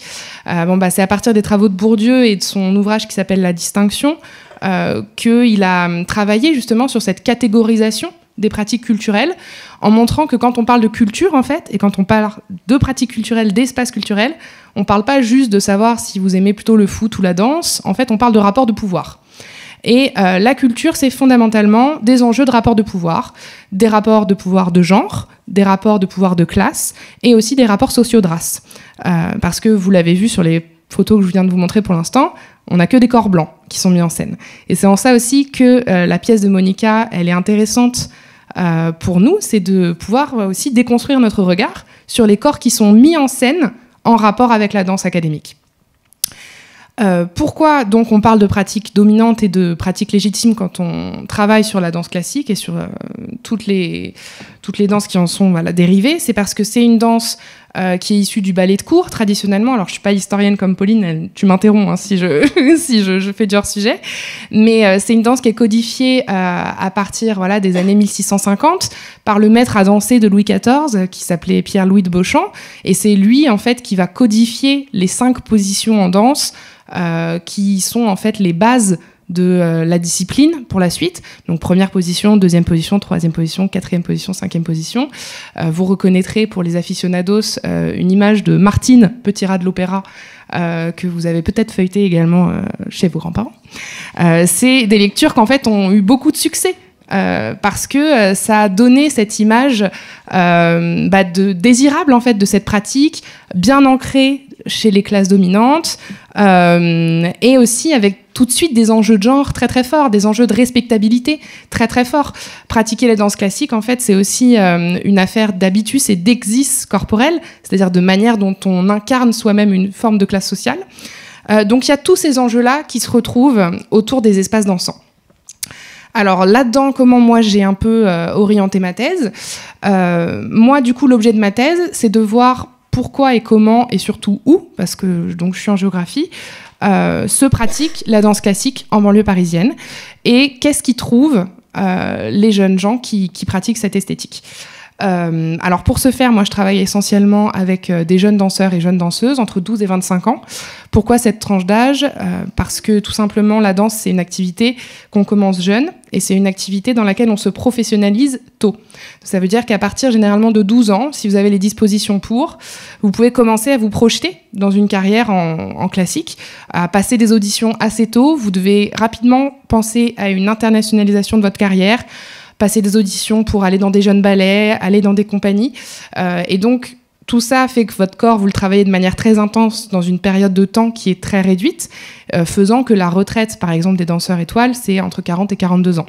Euh, donc on est sur une durée assez courte finalement d'activité en scène, mais qui suppose derrière un travail extrêmement exigeant. Hein. et le but de ma thèse et de ma discussion avec vous aujourd'hui, c'est absolument pas de renier ce travail qui est admirable, c'est plutôt juste d'interroger les mécanismes de production sociale de cette pratique, ok et d'interroger ensemble aussi ce qui se joue en termes d'inégalité, de marginalité et de rapport de pouvoir.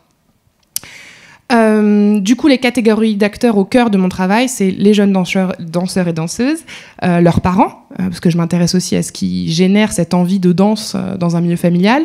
Est-ce que c'est adossé à une volonté d'ascension sociale ou non? Est-ce que c'est vécu comme un déclassement? Quels sont les enjeux économiques aussi qui permettent ou pas qu'on continue à pratiquer?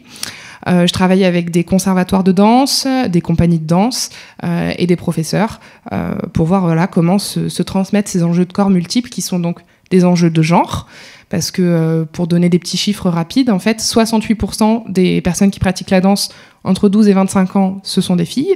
C'est les chiffres de l'INSEE. Mais ces chiffres ne précisent pas la répartition de genre par catégorie et par esthétique.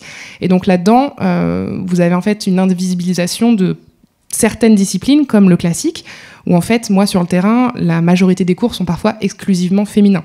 Donc il y a des enjeux de transmission de genre, aussi de normes de féminité, euh, de normes de maintien du corps qui sont très très fortes en danse. Il y a des enjeux de classe, on l'a vu un peu parce que voilà, euh, euh, le rapport aux pratiques légitimes, à la culture dominante, au fait de s'affirmer.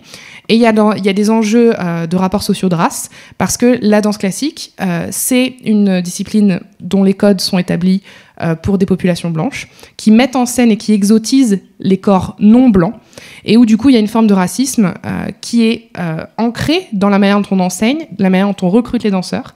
Et ça, je vais y revenir un peu plus tard. Alors comme on, parle beaucoup ensemble de marge, de centre et de périphérie, où est-ce que je fais ma thèse et où est-ce que j'enquête sur le terrain. Euh, pour ce faire, euh, j'ai choisi, euh, moi, 12 communes de la petite couronne parisienne. Donc la petite couronne parisienne, en fait, c'est l'espace qui regroupe les trois départements limitrophes de Paris, donc 93, 94 et 92, Hauts-de-Seine, Val-de-Marne, Seine-Saint-Denis. Au sein, au sein de ces trois départements, j'ai choisi à chaque fois quatre communes avec des profils sociaux et démographiques différents, des histoires liées à la désindustrialisation aussi différentes. Euh, l'objectif dans mon terrain, c'était d'avoir vraiment des profils de communes différents pour voir si au sein des espaces de pratique de la danse classique, il y avait des choses qui se regroupaient ou si au contraire, euh, il y avait des, pratiques, des négociations, des résistances même euh, différentes. Quand on fait un protocole de thèse et qu'on est sur le terrain, on met en place une méthodologie. Donc moi, je vous l'ai dit, ma méthodologie, ça m'amène essentiellement à faire des entretiens avec donc différents acteurs du monde de la danse. Après, je mets aussi en place euh, une forme de participation et d'observation. Hein. Euh, donc, euh, concrètement, le spectacle de fin d'année de votre petite cousine que vous allez observer au mois de juin, bah, j'en fais plein. Voilà, j'en fais plein, j'interroge les parents, euh, les élèves, les professeurs euh, pour voir bah, euh, comment ça se passe, le rapport à, la culture dite légitime qui se met en place à partir de ces spectacles de fin d'année, pourquoi on décide d'inscrire ses enfants au conservatoire, qu'est-ce qui se joue derrière comme, voilà, comme enjeu de classe et enjeu de genre aussi dans la construction de sa respectabilité. Donc ça génère beaucoup d'observations, beaucoup de séances d'observation. Et pour avoir un volet plus bah, participatif et co-créé sur ma thèse, euh, je fais aussi des ateliers avec les danseuses et danseurs que j'enquête. Alors je vais avoir tendance beaucoup pendant le temps qui me reste à tout féminiser euh, parce que euh, la majorité de mes enquêtés sont des femmes et donc j'emploie souvent le féminin neutre dans la manière dont je m'exprime. Ça ne veut pas dire qu'il n'y a pas d'hommes sur le terrain, ça veut juste dire qu'ils sont minoritaires. Et que du coup, j'ai tendance à, souligner le fait qu'on est dans un environnement qui crée aussi euh, du genre féminin, un doing gender, on dit beaucoup ça en, études de genre. Et donc, en ce qui concerne euh, les ateliers participatifs, en fait, je mène des ateliers de carte mentale, et c'est en ça aussi que le spectacle de Monica m'a beaucoup intéressé. C'est sur justement sa vision de la cartographie et sur sa vision de ce qu'on représente et comment on cartographie une ville par le corps, parce que c'est aussi un peu ce que je cherche à faire avec mes enquêtés, en leur demandant de réaliser euh, souvent soit des croquis, soit des dessins, soit des cartes mentales, de la manière dont la danse impacte leur vie et des lieux de la danse qu'ils ou elles fréquentent. Alors concrètement, euh, ça paraît très savant dit comme ça, mais c'est pas si compliqué. En fait, on distribue des feuilles avec euh, plein de, feutres, de crayons, de, stylos, et l'objectif, c'est que chacune et chacun représente son rapport à la danse et les lieux de la danse fréquentés. Euh, scientifiquement, les cartes mentales, c'est une méthodologie qui est en complément hein, des entretiens qu'on mène, des observations qu'on fait. Et si on l'utilise, c'est pour confronter le vécu de certaines personnes à la réalité supposée de ce qu'on saurait dans une, dans une recherche académique. Euh, et en fait, moi, ça me permet sur le terrain de voir la manière dont les gens que j'interroge vivent la ville à travers la danse, les quartiers qu'ils et elles fréquentent pour aller à la danse, le déplacement des danseuses pour y aller, les lieux dans lesquels elles ont dansé.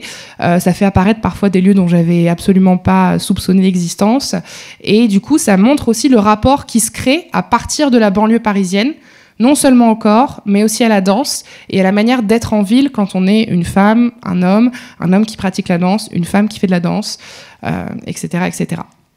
Euh, donc euh, souvent sur les dessins, il y a aussi des dimensions de sexualité, de genre ou de discrimination raciale qui peuvent émerger.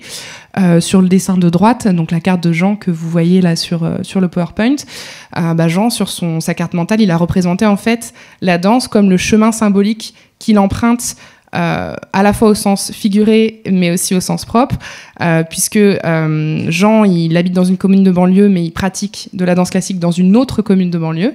Et donc, il a expliqué donc, et représenté sur sa carte mentale le chemin qu'il emprunte, qui est un chemin, semé d'embûches, qui est aussi un chemin qui lui a permis d'assumer son homosexualité, le regard des autres en ville, de revendiquer une forme de pouvoir aussi en ville. Euh, et donc tout ça, ça peut apparaître de manière très affective et émotionnelle sur les cartes mentales. Et euh, c'est ce qui fait aussi que, la recherche s'enrichit.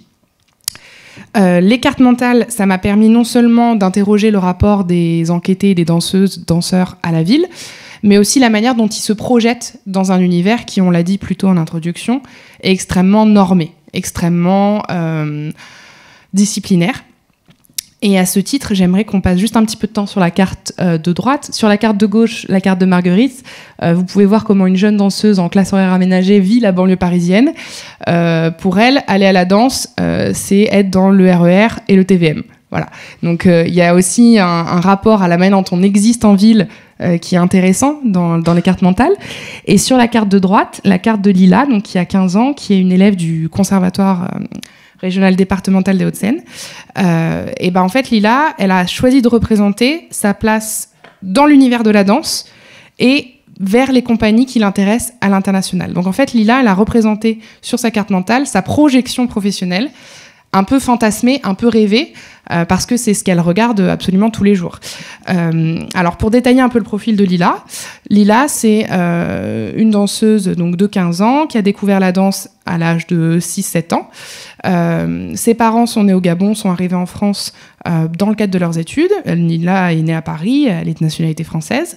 Et dans tous les cours de danse classique qu'elle a pratiqués jusqu'à ses 15 ans, jusqu'à être au CRD des Hauts-de-Seine, elle a constamment été la seule élève noire dans l'univers de la danse classique. Euh, donc très tôt, elle a en fait euh, incorporé euh, une hiérarchie des normes dans cet univers, qui en plus lui était renvoyée constamment dans l'iconographie de la danse classique. Si vous vous rappelez la photo que j'ai mise en introduction sur le défilé du ballet de l'opéra, vous, voyez qu'il n'y a pratiquement que des corps blancs. donc en fait, c'est là aussi où on parle en sciences sociales de racialisation, c'est-à-dire d'attribution des places en fonction de certains certaines euh, déterminations sociales euh, et de corps. Et donc, ce qui est intéressant dans la carte de Lila, euh, c'est qu'elle s'est projetée entièrement vers les États-Unis et vers la ville de New York. Alors, il ne s'agit pas pour moi ici de dire s'il est plus facile d'être une jeune fille noire aux États-Unis ou en France. C'est absolument pas le propos de, mon intervention. Par contre, ce qui est intéressant, c'est de voir à comment une jeune fille de 15 ans se projette davantage dans un univers professionnel outre-Atlantique, outre-Atlantique, c'est dur à dire, plutôt qu'en France. C'est pour ça que euh, quand on parle de racialisation, quand on parle de danse, on pense forcément à une forme de mondialisation euh, ou au sein de laquelle s'organisent les rapports de pouvoir. Euh, parce que danser, c'est forcément se déplacer, passer des auditions, essayer d'intégrer des compagnies. Et Lila, sur sa carte, elle a représenté une compagnie de danse afro-américaine, en fait, qui s'appelle Alvin Alley. Euh, Alvin Alley, euh, c'est un peu un symbole de la réussite pour pas mal de danseurs et danseuses non blancs que j'enquête, parce que c'est une des rares compagnies, alors moderne, mais avec une très bonne technique classique aussi, qui donne de la visibilité à ses corps. Et donc, c'est pas du tout euh, anodin qu'elle note ça euh, dans sa carte mentale. En fait, ça reflète euh, une absence dans son cadre d'exercice local. Donc, en fait, nécessairement, sa projection, elle est, obligatoirement translocale. Alors, pourquoi du coup on parle de trajectoire dansante quand on s'intéresse à ces questions-là? Bah, C'est pour montrer que intégrer le monde professionnel de la danse, c'est soi-même participer à des jeux de rapport de pouvoir. Euh, la danse, on l'a dit, c'est et notamment la danse classique, c'est une discipline qui est très féminisée. Donc il y a une concurrence extrêmement accrue entre jeunes femmes à partir de l'âge de 15 ans, il faut bien en avoir conscience. C'est des processus qui peuvent être vécus de manière extrêmement douloureuse hein, parfois. Euh, pour ceux peut-être qui ne savent pas, pour entrer à l'Opéra de Paris, il faut passer des épreuves dites de la balance, où on vous pèse et on vous mesure, et il faut avoir une adéquation, un peu comme votre carnet de santé quand vous êtes euh, bébé. Euh, bah, c'est la même chose, mais jusqu'à l'âge de, de 16 ans. Et si vous vous écartez de cette normalisation, vous pouvez être envoyé. Et c'est même très fréquemment le cas. Euh, donc, il y a aussi une incorporation des normes qui est très forte dans cet univers, qui peut être très violente. Et si on n'est pas en adéquation avec ces normes de genre, de race, euh, et parfois aussi de classe, parce qu'il faut de l'argent pour se déplacer aux auditions, euh, pour acheter une paire de pointes. Une paire de pointes, ça vaut 50 euros à peu près, des collants, etc., etc. donc, face à cette concurrence accrue, face à ces rapports de genre de classe, il y a aussi, donc on l'a dit, euh, les rapports de sociaux de race qui rentrent en compte. J'ai parlé de blanchité un peu plus tôt. Euh, quand on parle de blanchité en géographie et en sciences sociales, on fait référence à tout le courant des whiteness studies qui a émergé autour des années 80-90, surtout dans les pays anglophones, pour en fait décrire la banalisation de toutes les expériences vécues par les personnes blanches dans les pays occidentaux. Euh, donc là, je fais référence notamment pour ceux que ça intéresse à un article d'une chercheuse qui s'appelle Peggy McIntosh et qui est une des premières euh, à avoir parlé donc de, whiteness experience sur euh, le fait comment, enfin sur l'explication pour elle d'une banalisation de tout un tas de, de, difficultés au quotidien quand on est blanc. Et c'est typiquement le cas dans la danse classique parce que toutes les représentations iconographiques mettent en valeur des corps blancs et euh, le fait d'avoir de pouvoir euh, s'affronter à ces normes, non seulement c'est très difficile, mais en plus c'est très récent. Euh, vous n'êtes pas sans ignorer que parler de ces questions-là, ça peut parfois être très sensible dans le contexte francophone. et donc c'est seulement l'année dernière, Pauline l'avait évoqué un peu plus, un peu plus tôt, qu'il y a eu un rapport sur la question raciale et la diversité à l'Opéra de Paris. donc 2020, en fait, le rapport a été publié en décembre 2020. En janvier 2021, il était rendu public. Euh, donc ça fait voilà à peine un an que ces questions-là sont audibles du point de vue des institutions. Euh, et juste pour euh, vous éclairer un peu sur les expériences que ça génère dans ce milieu, j'aimerais vous lire donc un extrait d'entretien qui a été mené avec un, un de mes enquêtés, donc qui a 20 ans, qui est danseur professionnel en classique, qui s'appelle Guillaume. Et donc Guillaume, euh, lorsque je lui pose la question du vécu de son parcours entre le conservatoire, euh, l'école de l'Opéra de Paris à Nanterre, donc en petite couronne parisienne, euh, et son arrivée ensuite dans une compagnie classique prestigieuse, Guillaume me répond je sentais souvent que les corrections avaient une dimension raciale parce que le prof m'avait déjà dit que j'avais de trop grosses cuisses, des grosses fesses typiques et pas de pieds, ce qui était typique des gens de couleur. C'est violent, mais sur le coup, je ne me rendais pas forcément compte. J'étais dedans et j'avais cette envie innocente de danser, presque naïvement. Ça me touchait bien sûr, mais je ne le digérais pas directement comme du racisme, sûrement pour me protéger d'ailleurs et ne pas abandonner la danse que j'adorais. Donc on est dans un univers extrêmement euh, dominateur du point de vue des normes raciales qui sont implicites et face auxquelles faire sa place, c'est compliqué. Euh, face à, tout cela, euh, poser la question de la visibilité des corps, c'est forcément se tenir dans une posture politique, en réalité, et de, de, de, mettre à jour que euh, les corps euh, non blancs, les corps non dominants ont leur place sur scène. Euh, il y a un article d'une journaliste américaine, enfin états-unienne, pardon, euh, qui s'appelle Gia Kourlas, qui est paru en 2007, qui était paru dans le Times, où elle titrait Where are all the black swans? Donc, où sont les signes noirs? et qui mettait déjà la puce à l'oreille sur le manque de représentation aussi disponible euh, lorsqu'on parle de pratiques légitimes, de pratiques dominantes. Et l'ascension la plus fulgurante qui a été presque portée au statut de symbole, d'icône en termes de représentation euh, des minorités racisées dans la danse classique, c'est la personne de Misty Copeland. Misty Copeland, c'est une danseuse afro-américaine euh, qui a évolué surtout en Californie. Elle a remporté beaucoup de prix et c'est la première en fait danseuse afro-américaine à avoir été nommée prima ballerina, donc danseuse étoile, à l'American Ballet Theater en 2015. Euh, avant elle, il n'y en avait pas. Il y avait certaines premières danseuses qui ont ensuite arrêté, qui ont fait certaines tournées dans le sud des États-Unis, qui se sont affrontées parfois même euh, au KKK et à des réactions racistes assez, assez fortes. Et donc Misty Copeland, ça a été vraiment euh, le symbole en fait de la visibilité accordée à des danseuses non blanches. Euh, récemment. Alors il y en avait d'autres, hein. il y avait des pionnières avant, j'ai pas le temps là de, revenir dessus, mais Misty Copeland, elle a eu, euh, en, tout cas, moi je l'ai senti sur le terrain dans les communes de banlieue parisienne que j'enquête, un rôle particulièrement fort parce qu'elle est aussi arrivée en même temps que les réseaux sociaux. Et alors, ça peut paraître euh, absurde, mais en fait, la visibilité, elle se conquiert aussi en ligne. Et Misty Copeland, euh, son compte Instagram est suivi par plusieurs millions d'abonnés. Donc, ça donne un rôle modèle, en fait, à plein de jeunes femmes euh, qui pratiquent la danse classique et qui correspondent davantage au corps de Misty, au de Misty qu'à celui de Sylvie Guillem.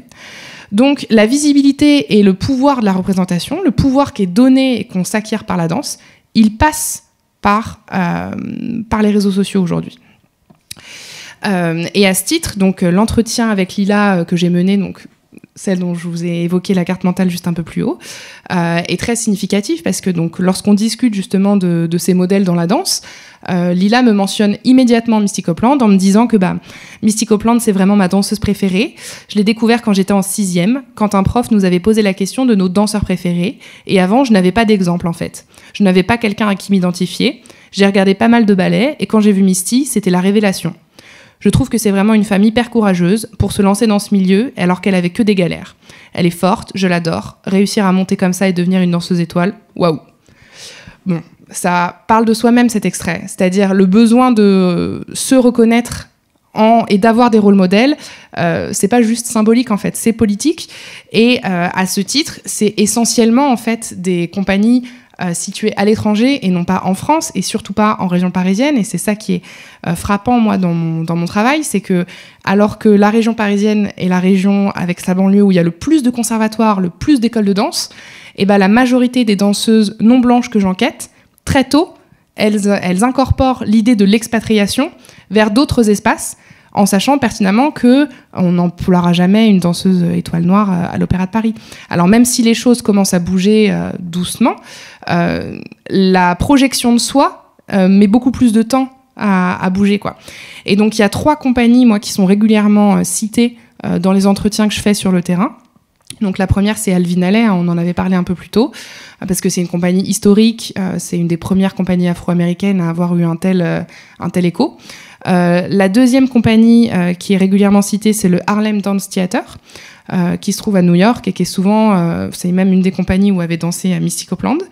Et la troisième compagnie pour les danseurs et danseuses non blancs, qui est souvent citée dans les entretiens comme un espace d'accomplissement, c'est le Ballet Black à Londres, qui est en fait un espace et une compagnie où se retrouvent des, des danseurs et des danseuses métisses, mais aussi des danseuses asiatiques et des danseuses euh, souvent de petite taille euh, ou très très grandes euh, qui auraient été renvoyées parce qu'elles ne correspondent pas aux critères de normes de corps de d'autres compagnies.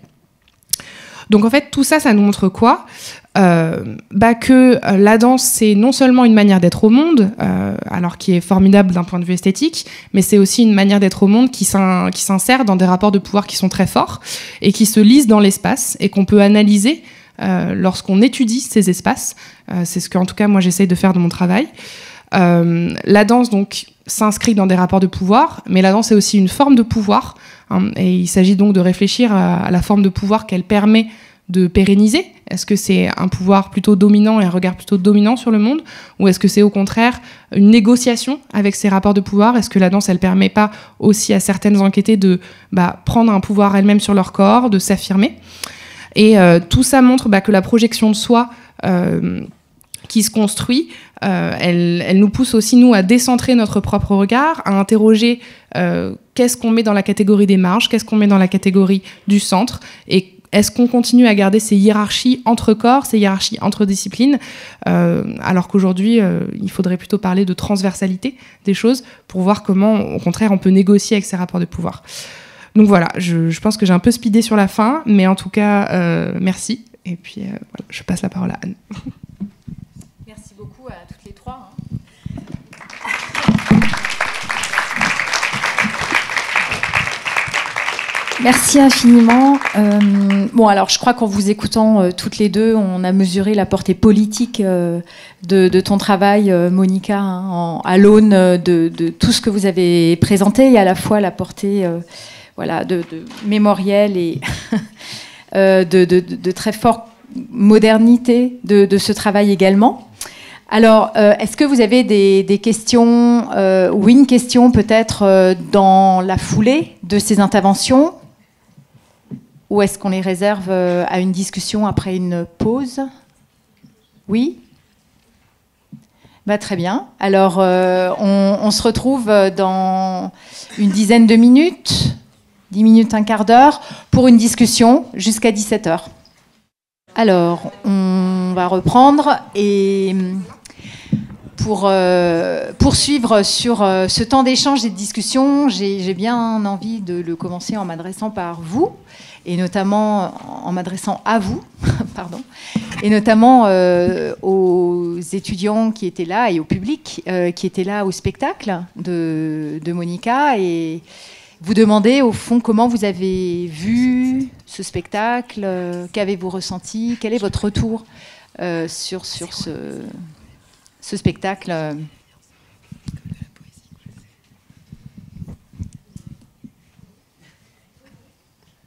Oui. Alors oui, je crois qu'il faut un micro.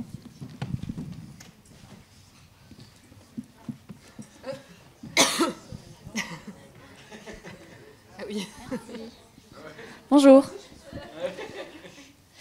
Euh, bah, déjà, je voulais saluer la performance sportive parce que un peu plus fort. Pardon. Vous m'entendez, c'est bon? Oui. Oui, déjà, je disais, je voulais euh, saluer la performance euh, sportive parce qu'on voit bien que pendant deux heures, euh, vous donnez vraiment à, à 100%.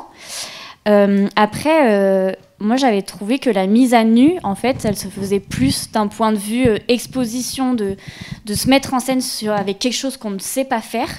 Et euh, je trouve que c'est presque plus intimidant le regard des autres euh, bah, de, de faire des pointes sur scène alors qu'on n'est pas dans ce classique, plus que la mise, euh, mise à nu du corps. Euh, et du coup, je voulais savoir euh, pourquoi euh, quand même continuer cette mise à nu du corps alors que, enfin, pour moi, à mon sens, l'autre exposition est plus importante que, que le corps en tant que tel.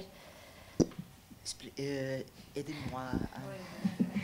Ce que Claire euh, souligne, c'est qu'il y a la mise à nu par la nudité. Et ça, c'est une forme d'exposition, mais qui met moins en danger, c'est ça, que euh, la mise à nu de vulnérabilité autre, et notamment le fait de ne pas savoir faire, de, faire des pointes, notamment euh, quand on ne sait pas les faire. Donc pour, vous, Claire, c'est quelque chose de plus risqué ou de... Ah oui, et du coup, à quoi sert la nudité? Parce que c'est ça, hein? Oui, parce qu'il y a déjà ce risque, je trouve, euh, de l'artiste de se, de se mettre à nu au sens métaphorique. Et euh, je trouvais qu'en fin de compte, la nudité physique était peut-être un peu superflue euh, alors qu'il y a déjà ça. C'est une double exposition et est-ce que du coup, est-ce que la nudité est nécessaire dans ce contexte? Je crois que, je crois que oui. Euh, parce que hum, la euh, vul- vulnérabilité, la vulné- euh, ok, vulnérabilité et l'exposition. Euh, et la falle, exposer la falle, le- ne, être capable de, le faire euh, d'une façon conventionnelle, parce que euh, essayer de faire quelque chose que tu ne savais pas faire et le faire avec tes propres euh, euh, capacités, mais essayer de le faire. Et, euh, et, la, nudité porte ça aussi. Eh bien, et- et il y avait une démonstration en même temps de, parce qu'imagine imagine le travail sans si nous sommes habillés ha- habillés. Il y a une autre camarade que pour moi ce n'est pas intéressant parce que quand tu quand tu peux personne euh, avec la même veste euh, avec les mêmes euh, la même robe la même oui. Ou quand tu peux si tu, si avais personne avec des robes euh, différentes, ça, te donne une lecture qui, pour ce travail, pour moi, ce n'est pas euh, intéressant. Je voulais de nous porter tout, euh, ensemble dans la même, circonstance. Et, et exposer aussi toutes nos, toutes nos différences, tous nos corps différents, tout, tout cette possibilité de, de, de, de montrer aussi, euh, de exposer aussi, et toutes les personnes avaient de peur de, de, cette euh, partie de son corps, de, de part de son corps que, que nous, nous ne aimons pas, que nous ne voulons de montrer, que nous ne voulons d'exposer. Et, et, et pour moi, ça donne aussi euh, une possibilité, pour moi, c'est une affirmation de, de, de, oui, de pouvoir, de pouvoir sur, ton propre euh, limite, sur ton, propre euh, euh, individualité. Et que ça, ça, ça donne pour les personnes qui regardent cette, cette possibilité aussi de, de, de, de se confronter avec son propre corps. Et pour, et pour ça, c'est important pour moi la, nudité, l'exposition de ça euh, dans, dans le, cadre de, de- du travail. Et je crois en même temps que quand nous nous habillons, dans le début, euh, les personnes regardent chaque corps, chaque euh, euh, si si nous avons de euh, euh, publics ou non, si nous avions ici, si nous nous pas, comment, si tu avais la tatouage, s'il y avait un piercing, euh, tu, tu regardes pour chacun, chacun. Mais après, le travail, tu oublies de ça. Et là, je crois, parce que quand, quand je suis dans le, la répétition, je suis, euh, ma vision, c'est la vision du public. Euh, après un moment, tu commences à regarder l'expression de la, de la, et tu oublies la question de la nudité. Et un- et pour moi, c'est aussi important ça. C'est une première euh, confrontation, mais après, la question de nous être nus, ce n'est pas une chose importante. Ce n'est pas ça que, ce n'est pas ça qui c'est important dans, le travail. Tout oublié. Et je crois que les personnes oublient ça. D'accord, merci. Et du coup, je voudrais rajouter quelque chose par rapport à, la nudité, parce que je me suis posé la question aussi au niveau du maquillage, parce qu'elles font tomber les vêtements, mais elles gardent quand même le maquillage. Donc pourquoi cette volonté-là de pas se mettre à nu vraiment à 100% Parce que pour- pourquoi tu, tu- demandes pourquoi ça? Oh, oh. Parce que c'est c'est la volonté de chacun. Euh, c'est pas le choix de chacun. C'est quelque chose que je ne, je ne, je ne dis rien. C'est un choix. C'est aussi une façon de chacun voulait se montrer, voulait être là, et, et c'est un choix individuel. Ce n'est pas ma choix, ce n'est pas un- un- une obligation, c'est une volonté en même temps de, oui, de avoir euh, quelque sorte de, de beauté. Euh, euh, et c'est un choix. Merci.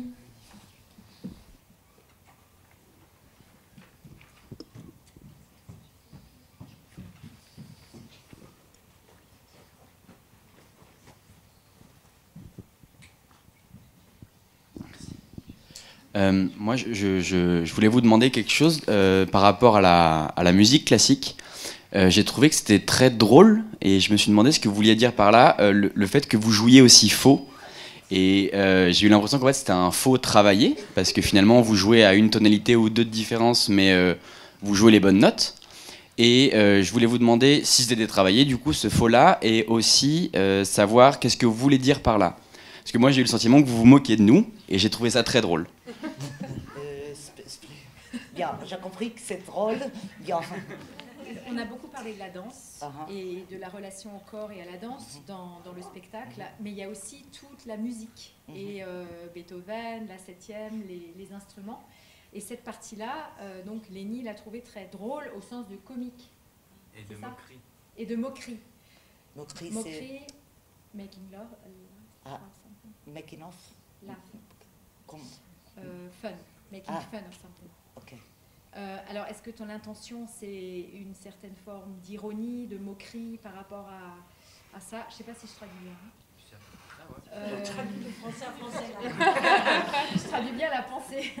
Et quelle est l'intention derrière euh, le fait de, de faire jouer faux sur scène? Parce que l'impression, c'est que c'est un faux travaillé. Mm, non.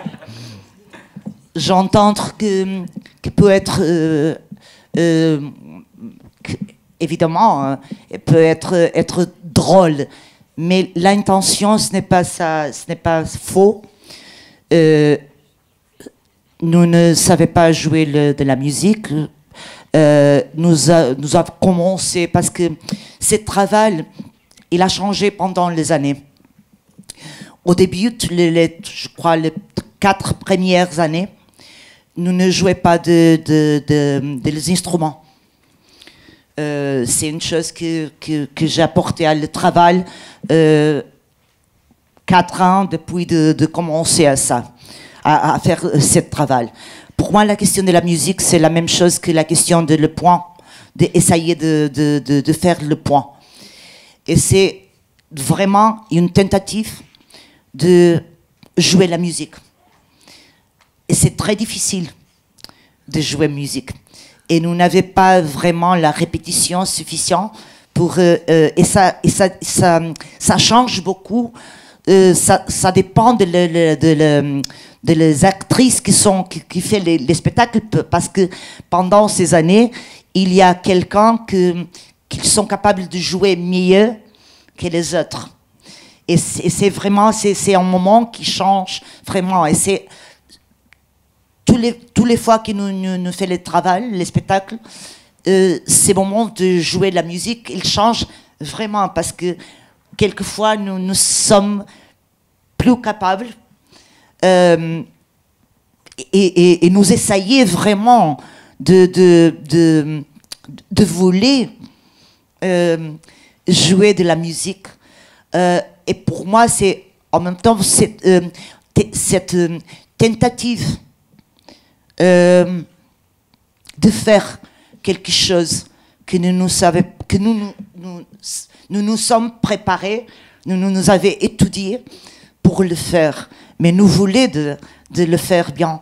C'est vraiment, et c'est confronte cette frustra- frustration, parce que c'est vraiment, et pour nous, c'est un moment très difficile de le faire et de le jouer, parce que s- il y a vraiment une, une grande euh, frustration et, quelquefois vraiment une euh, sadness, euh, tristesse. Et en même temps, nous, nous, nous donner ça, ça avec, avec cette vulnéra- vulnérabilité de le faire et de l'essayer, mais, mais avec la- avec l'intention et la volonté de, de le jouer bien et de, et de le jouer le meilleur euh, possible. Et, hum, bien. Et la musique, c'est très important. Bien, c'est vrai parce que nous avions parlé du corps et nous n'avions pas parlé de la musique. Et ce travail aussi, il a commencé pour la musique. Et la question de la difficulté, euh, quand l'étude de la danse classique et l'étude de la musique classique, il commence quand les personnes sont très jeunes. Et pour le faire, pour être un musicien, pour être un danseur classique, euh, le- le- les jeunes personnes, le- le- le- les filles, le- les enfants et les jeunes personnes, ils ont besoin de, laisser beaucoup de choses dans la vie pour le faire, ainsi comme le, le- les des sportistes, les des sportistes professionnels. Euh, c'est un travail très solitaire, très physiquement euh, difficile, parce que euh, je ne sais pas si tu, jouais quelques instruments, si tu savais de la musique, mais c'est vraiment votre corps, c'est faire comme ça, et ça y est, seulement faire ça, seulement, seulement porter le, le, dans la main, la position correcte, et, faire, et faire ça, c'est et, faire ça, parce que c'est en, position, ils sont des positions euh, anatomiquement, ana- ana- anatomiquement euh, difficiles, étranges, de, euh, tu- avais de, de douleurs.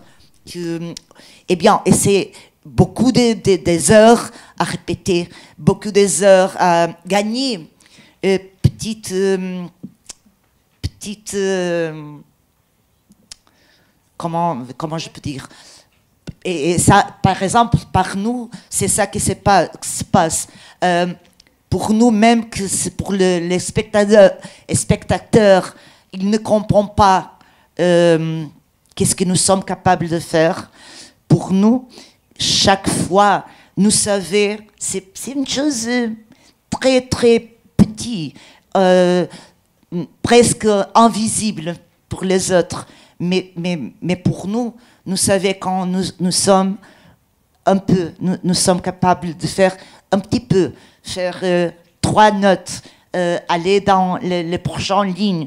Eh bien, et, et, et pour moi, cette, cette conquête, conquête, conquête, conquête, conquête, euh, invisible, euh, qui non sont visibles, c'est aussi quelque chose que je crois dans le travail, le travail artistique.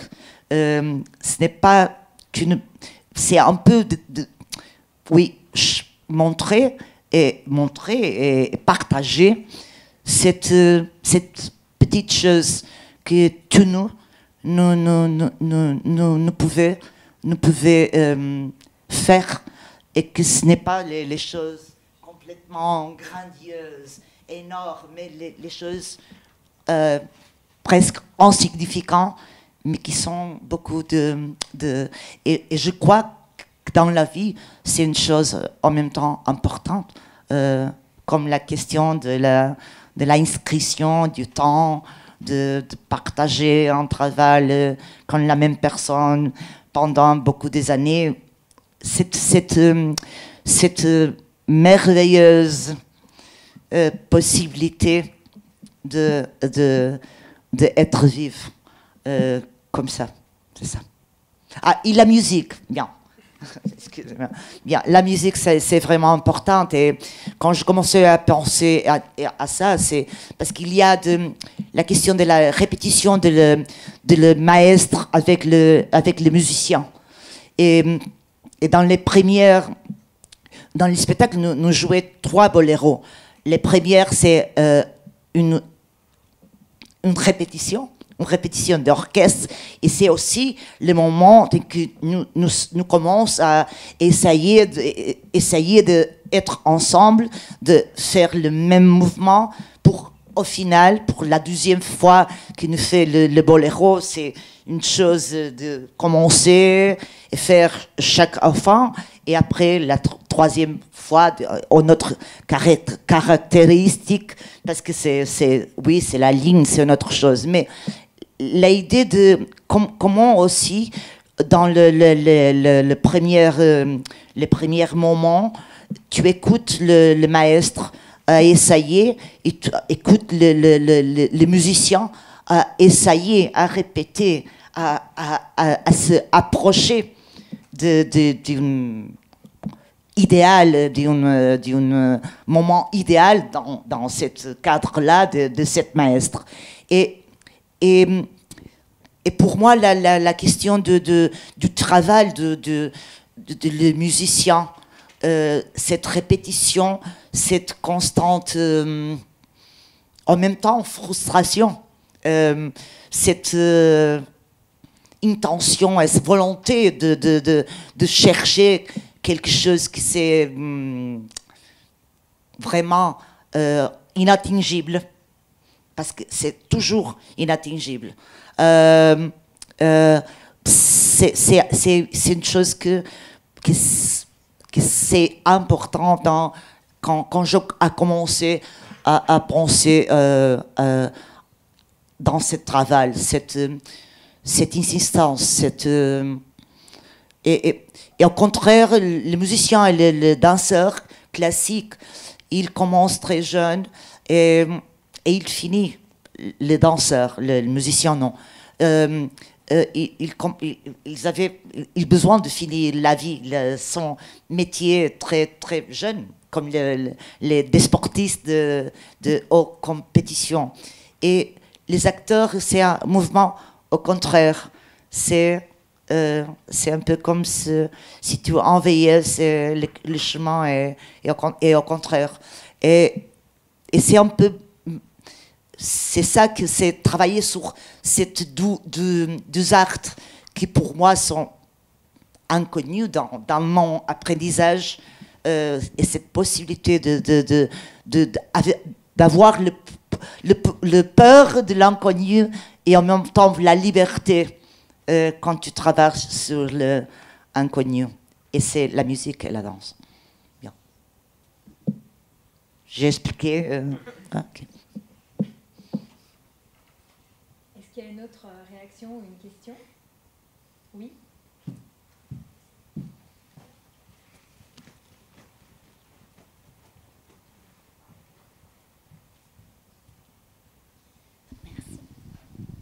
Euh, oui, je voulais revenir sur votre moment du spectacle quand on voit les actrices qui marchent et qui courent avec euh, des, des puits de, lumière.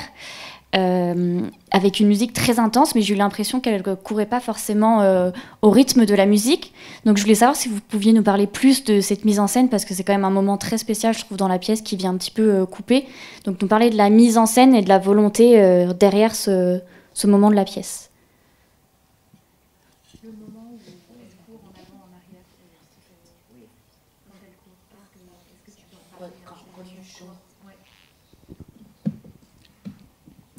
Euh, tu connais la, pièce musicale? C'est Firebird. C'est quand nous, cours, c'est ça? Ah.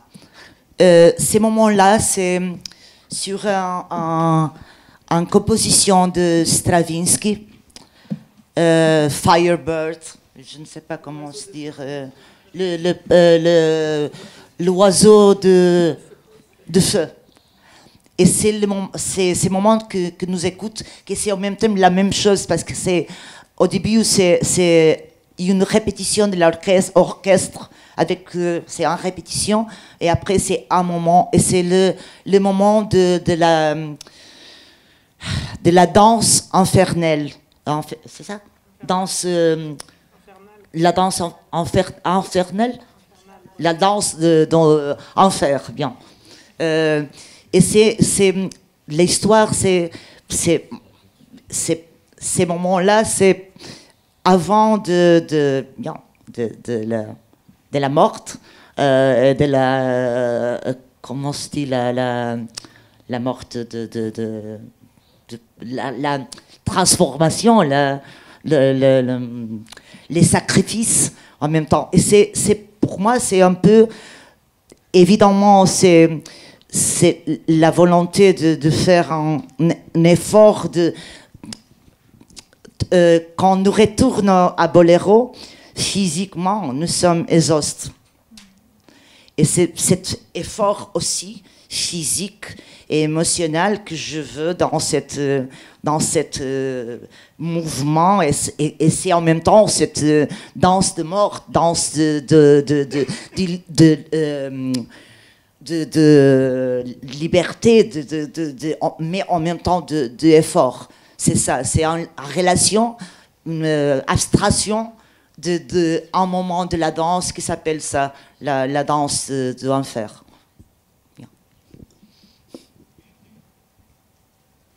Merci.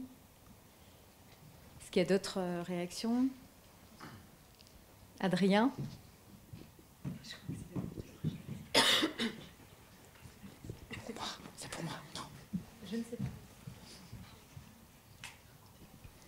J'ai euh, oui, encore une question pour euh, Monique Akal. Euh, sur la durée du spectacle. Pourquoi faire durer si longtemps cet effort de répétition? Je pense que, enfin, moi personnellement, enfin, je disais ça avec humour dans la voiture, on aurait pu couper toute la, la première partie. Je me souviens avoir dit ça. dans le sens où l'intention de répétition, on la, on la revoit en fait en plein de fois dans le spectacle et la durée, en, comment dire, réduire la durée du spectacle n'aurait rien changé à montrer cet effort de répétition. Euh, la question c'est la durée. Tu, tu crois que c'est trop? Oui. C'est ça? Oui.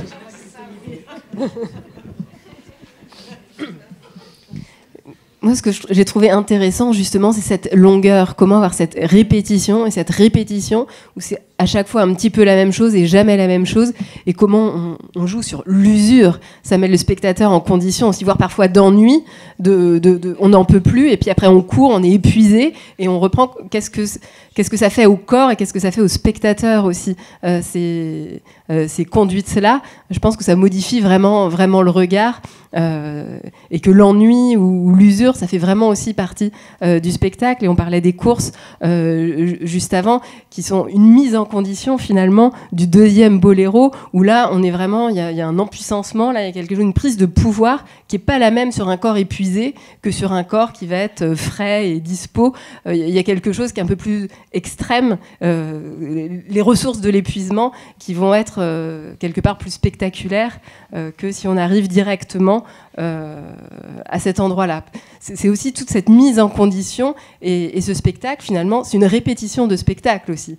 Euh, on est vraiment sur le processus, sur la répétition et, le travail en danse, c'est ça aussi. C'est cette répétition à n'en plus finir, à, entendre le boléro, je pense, jour et nuit, euh, euh, et, cet acharnement et tout, ce qu'on ne voit pas habituellement, c'est aussi le propos du spectacle et, qui joue sur, cette répétition et sur cette usure, je pense. C'est ça, impossible de d'arriver euh, à, à, une pas arriver à, enfin si, si tu ne, ne passes pour ça répétition pour ça insistance pour ça exhaustion pour ça euh, c'est un peu comme le, le, le, mouvement que le boléro fait c'est impossible si tu, si tu coupes tu, la, la, façon comme la, la, la musique est construite, c'est une, une, transformation. Il, il, si tu coupes quelque chose, c'est impossible d'avoir ce mouvement.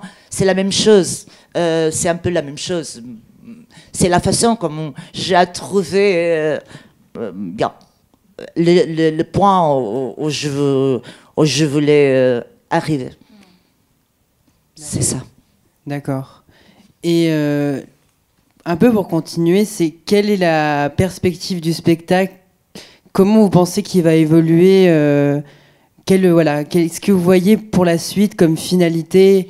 Enfin, je sais pas, il n'y a, peut-être pas de fin dans, votre, dans ce travail de réflexion sur la répétition, mais comment vous le voyez peut-être? Est-ce que vous imaginez continuer le spectacle pendant encore 10 ans ou 20 ans même? Je ne sais pas. Ça fait comme ça fait déjà 8 ans que, que vous, que vous continuez cette répétition. Oui, je voulais, je voulais continuer à faire le spectacle pendant 10 années. Je pense en ça, peut-être euh, en 10 années, je, je pense ça, je, je, ne veux pas continuer à faire ça parce que il ne fait pas de, de sens. Mais, mais ma intention, mon intention, c'est continuer à faire le travail et continuer à faire juste parce que je veux euh, comprendre, entendre comment euh,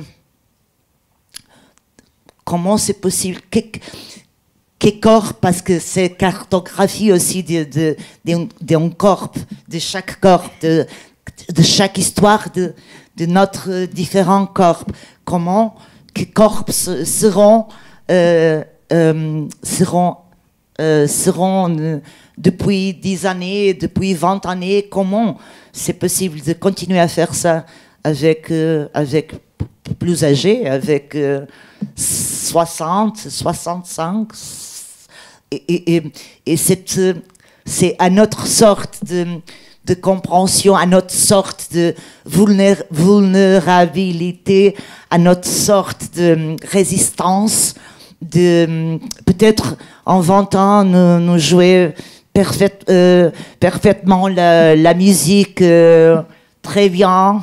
Euh, eh bien, j'ai besoin, non, très bien, non, parce que si, si, nous commençons à jouer meilleur de la musique, je, je vais plus, plus loin. Et j'ai essayé de, de faire plus que le 3-4 minutes, les secondes en de la, de, Beethoven. Je ne vais plus. Bien. Il y a quelque chose aussi qui est vraiment de l'ordre de l'expérience dans, dans, le spectacle et le fait de le poursuivre, c'est aussi l'inconnu. Qu'est-ce qu'on va faire? Comment ça va évoluer? Qu'est-ce que font les corps? Qu'est-ce que euh, voilà, suivant les espaces, suivant, suivant les personnes aussi qui tournent, je trouve qu'il y a cette dimension aussi euh, très expérientielle euh, dans cette pièce. Du coup, moi, j'avais une question pour Natacha par rapport à, à, ce travail, à la conquête des, petits gestes qui demandent des heures et des heures et des heures de répétition et, de répétition du même geste. Donc j'imagine que c'est très présent dans les discours de tes, de tes enquêtés. Est-ce que c'est le cas et comment? Et ensuite, euh, du coup, j'ai une question pour Monica. Quel est le regard de ces professionnels euh, sur ton spectacle? Euh, et du coup, c'est intéressant que tu poses la question parce que c'est justement ce que j'étais en train de me dire. Je me pose la question du poids de la pièce de Monica. Si tes danseuses arrivaient à faire parfaitement dans 10 ans, à jouer de la musique et à faire des pointes, est-ce que la portée de la pièce serait la même? Je suis pas sûre, en fait. Et du coup, ça montre aussi quelque chose de la réussite dans l'échec. Et qui est d'autant plus parlant quand on parle de danse classique, parce qu'en effet, c'est une discipline extrêmement euh, dominatrice en fait, de domination de son corps, de domination de l'esthétique. Et euh, la manière dont c'est vécu par les, personnes que j'encaisse, elle est extrêmement variable. C'est-à-dire que euh, moi j'envisage vraiment la danse comme une matrice d'analyse ambivalente. C'est-à-dire autant comme une pratique où il y a beaucoup de douleurs, de rapports de domination qui sont incorporés, parce que c'est extrêmement exigeant. Hein. On parle de, de, jeunes personnes qui pratiquent entre euh, parfois 6 à 15 heures euh, de danse dans la semaine. Donc évidemment qu'on est dans une pratique de haut niveau où il y a une demande de souplesse, de technicité, de virtuosité, où tout doit paraître facile. C'est euh, c'est éreintant, hein. c'est ce qui fait que c'est de l'art, c'est ce qui fait que c'est fabuleux quand on le voit sur scène, mais le travail qu'il y a derrière est extrêmement fatigant. Euh, et donc ce travail, il est vécu soit comme une contrainte, euh, ce qui fait que généralement les pratiquantes abandonnent au bout d'un moment, soit comme une manière d'être au monde à part entière. Et du coup, elles négocient avec les contraintes. Et du coup, pour pas mal de danseuses, en fait, la danse, ça devient pas seulement un loisir, c'est pas seulement euh, une manière de vivre sa vie, c'est pas un métier, mais c'est vraiment un rapport au monde, en fait. Euh, donc ça, c'était la première chose. Et euh, pour revenir juste sur la transition et la question que tu posais à Monica, sur donc le regard euh, porté par les professionnels de la danse, comment les danseurs ont vu ton spectacle. Et de la musique. Et de la musique aussi, ouais. Euh, moi, ce qui est fascinant, c'est que j'étais dans une dissociation cognitive euh, quand j'ai vu ton spectacle, parce que euh, la danseuse, entre guillemets, qui était en moi, euh, voyait voilà la difficulté, euh, les défauts, euh, le regard sur le corps, et la chercheuse voyait plein de choses fascinantes à, à démontrer, et donc il y avait ce et je pense que peut-être Pauline ça t'a fait la même chose, c'est-à-dire cette, cette dualité en nous-mêmes qui se met en place en disant mais c'est pas vraiment de la danse, qu'est-ce que je regarde, mais en même temps la portée politique de ce que je vois m'intéresse, et c'est ce, c'est ce que tu génères en nous qui est intéressant aussi dans ton spectacle quoi. Et du coup, peut-être que tu peux revenir là-dessus, sur comment les danseuses et les danseurs voient le spectacle que toi tu proposes? Les danseuses et les musiciens, euh, avec évidemment un peu euh, quelque chose d'étrange. Euh, les personnes qui, qui ont parlé avec moi, c'est un peu. Ils regardent pour nous avec peur. Ils avaient peur que nous nous fait mal. De se blesser, ouais, sur les pointes Oui, notamment. oui. Ils sont, c'est possible de- de- de- d'entendre qui vient de, la danse classique quand nous, nous fait le point parce que les personnes sont vraiment comme ça. C'est, drôle de, comprendre ça. Mais en même temps, c'est un peu le, c'est, étrange et, je crois qu'après, ça, ça le donne. En même temps, c'est un peu le regard d'une autre façon de son propre difficulté, de son propre travail, de sa propre confrontation avec le travail. C'est, quelque chose mélangé. Hum, Et les musiciens euh, aussi, ils, entendent euh, notre, notre effort et ils entendent ses propres efforts d'autre façon, évidemment. Mais, mais je crois qu'il y a un peu comme ça et après une, compréhension vraiment très émotionnelle et intime euh, sur, euh, euh, dans, la relation personnelle avec le, travail et son propre, propre travail. Ah, je, je, je voudrais dire une chose. Euh, pas- comme je ne suis danseur ni musicien, pour moi, la question de la répétition et, la, et, de la rigueur de la discipline euh, dans ce travail, pour moi, c'est une liberté. Ce n'est pas un constrangement. Et c'est une façon complètement distincte de, de, de, penser. C'est pour moi, c'est la liberté. Pour moi, c'est une possibilité de supération, ce n'est pas un constrangement. C'est vraiment différent. Et c'est une chose que, que j'ai découverte à faire ce travail et quand je travaille sur la danse, quand je travaille sur la musique, le, le, cette, rigueur, cette discipline me, porte la, liberté. Juste rebondir, je pense que voir ce spectacle depuis la danse classique ou depuis la danse contemporaine, ça n'a rien à voir. Depuis la danse classique, évidemment, on voit l'échec, on voit la, technique essayée. Depuis la danse contemporaine, on a l'habitude aussi de voir de la danse non virtuose. Depuis les années 90, il y a quand même eu un, vrai tournant. Euh, Dominique Frétard, euh, qui est journaliste au Monde, avait inventé le terme de non-danse pour parler de, la danse conceptuelle, où finalement la danse, le mouvement n'est plus le centre de, de la danse contemporaine. Donc c'est des choses aussi vues depuis cet endroit euh, qui est tout à fait euh, courant euh, aujourd'hui sur les scènes. Et ce soir, il y a un spectacle de Jérôme Bell qui a aussi beaucoup travaillé avec des amateurs sur, sur scène. Donc c'est des choses aussi dont on est familier, je dirais, depuis la danse contemporaine. Merci beaucoup pour cette petite remise en perspective qui sera le mot de la fin. merci beaucoup à toutes les trois, Monica, Pauline et Natacha. Et merci à vous ah, vous vouliez ajouter quelque chose? Toujours à la fin, en fait. Hein. C'est et, un, et un mot aussi? Alors, ok. Donc, je ne remercierai pas une deuxième fois. Donc, vous poserez la, la question.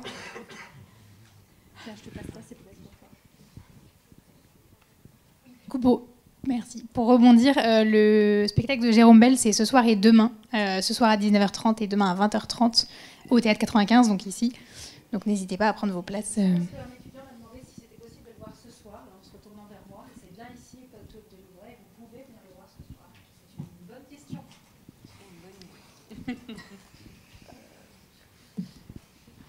Vous parlez de cartographie et je me demandais pourquoi vous, euh, pourquoi vous choisissez que les femmes, parce qu'une cartographie, ça devrait représenter l'ensemble de la population. Surtout, vous parlez du côté urbain. Alors, je me pose la question, en fait, pourquoi que des femmes? Est-ce que plus tard, dans l'évolution de, de la performance, il y aura des hommes? Ou pas? Que les femmes. est-ce que tu travailles avec des hommes? Pourquoi que les femmes? Bien, euh, parce que ce travail pour, pour moi, quand, quand je commencé à penser, à, à penser il vient, je, crois que j'ai déjà dit ça, euh, il vient de, les principes, la première idée, vient de, de ce texte de, Bertolt Brecht. Euh, et les personnages sont, sont une de, du femme, du sœur c'est la même, la même personne. C'est un peu une double personnalité. C'est, c'est la, même personne. C'est du façon de la même personne. Du, du façon d'agir de la même personne. Eh bien, et ça a commencé. Et presque toute ma vie, bien, j'ai travaillé plus avec euh, femmes que des hommes même que je, je, je, je, développé, je fais un travail quand, quand je partis par Zona Jota pour, pour le autre lieu, le quartier euh, d'habitation sociale, c'est n'est pas une, une, décision conceptuelle. C'est parce que je, je, je, travaillais dans une prison de haute sécurité des hommes euh, à Lisbonne, près de Lisbonne. Euh, et les personnes avec lesquelles j'ai travaillé dans, la prison, euh, euh, les premiers acteurs qui sortis de de, la prison, ils viennent de cette quartier là. Bien, je travaille avec hommes, avec femmes. Maintenant, j'ai commencé un travail qui c'est, ce n'est pas la même chose, ce n'est pas une version masculine de, de mais c'est un travail à partir de, la musique aussi et de la danse aussi. Et c'est seulement avec des hommes, euh, des corps, des hommes nus. Bien, dans ce travail, pour moi, fait du sens de, le faire seulement avec, avec des femmes, avec cette diversité de, femmes et avec euh, les actrices avec lesquelles je travaille plus. euh, et- et- c'est ça. Merci. Donc, on attend avec euh, impatience euh, le passage en France de ce nouveau spectacle avec les hommes. Ouais, vraiment. Donc, euh, merci à vous. Et tu voulais rajouter quelque chose, Feriel ou... On l'accueillera, ouais. Alors, à demain pour euh, le dernier séminaire. Merci beaucoup. Merci à vous. Merci.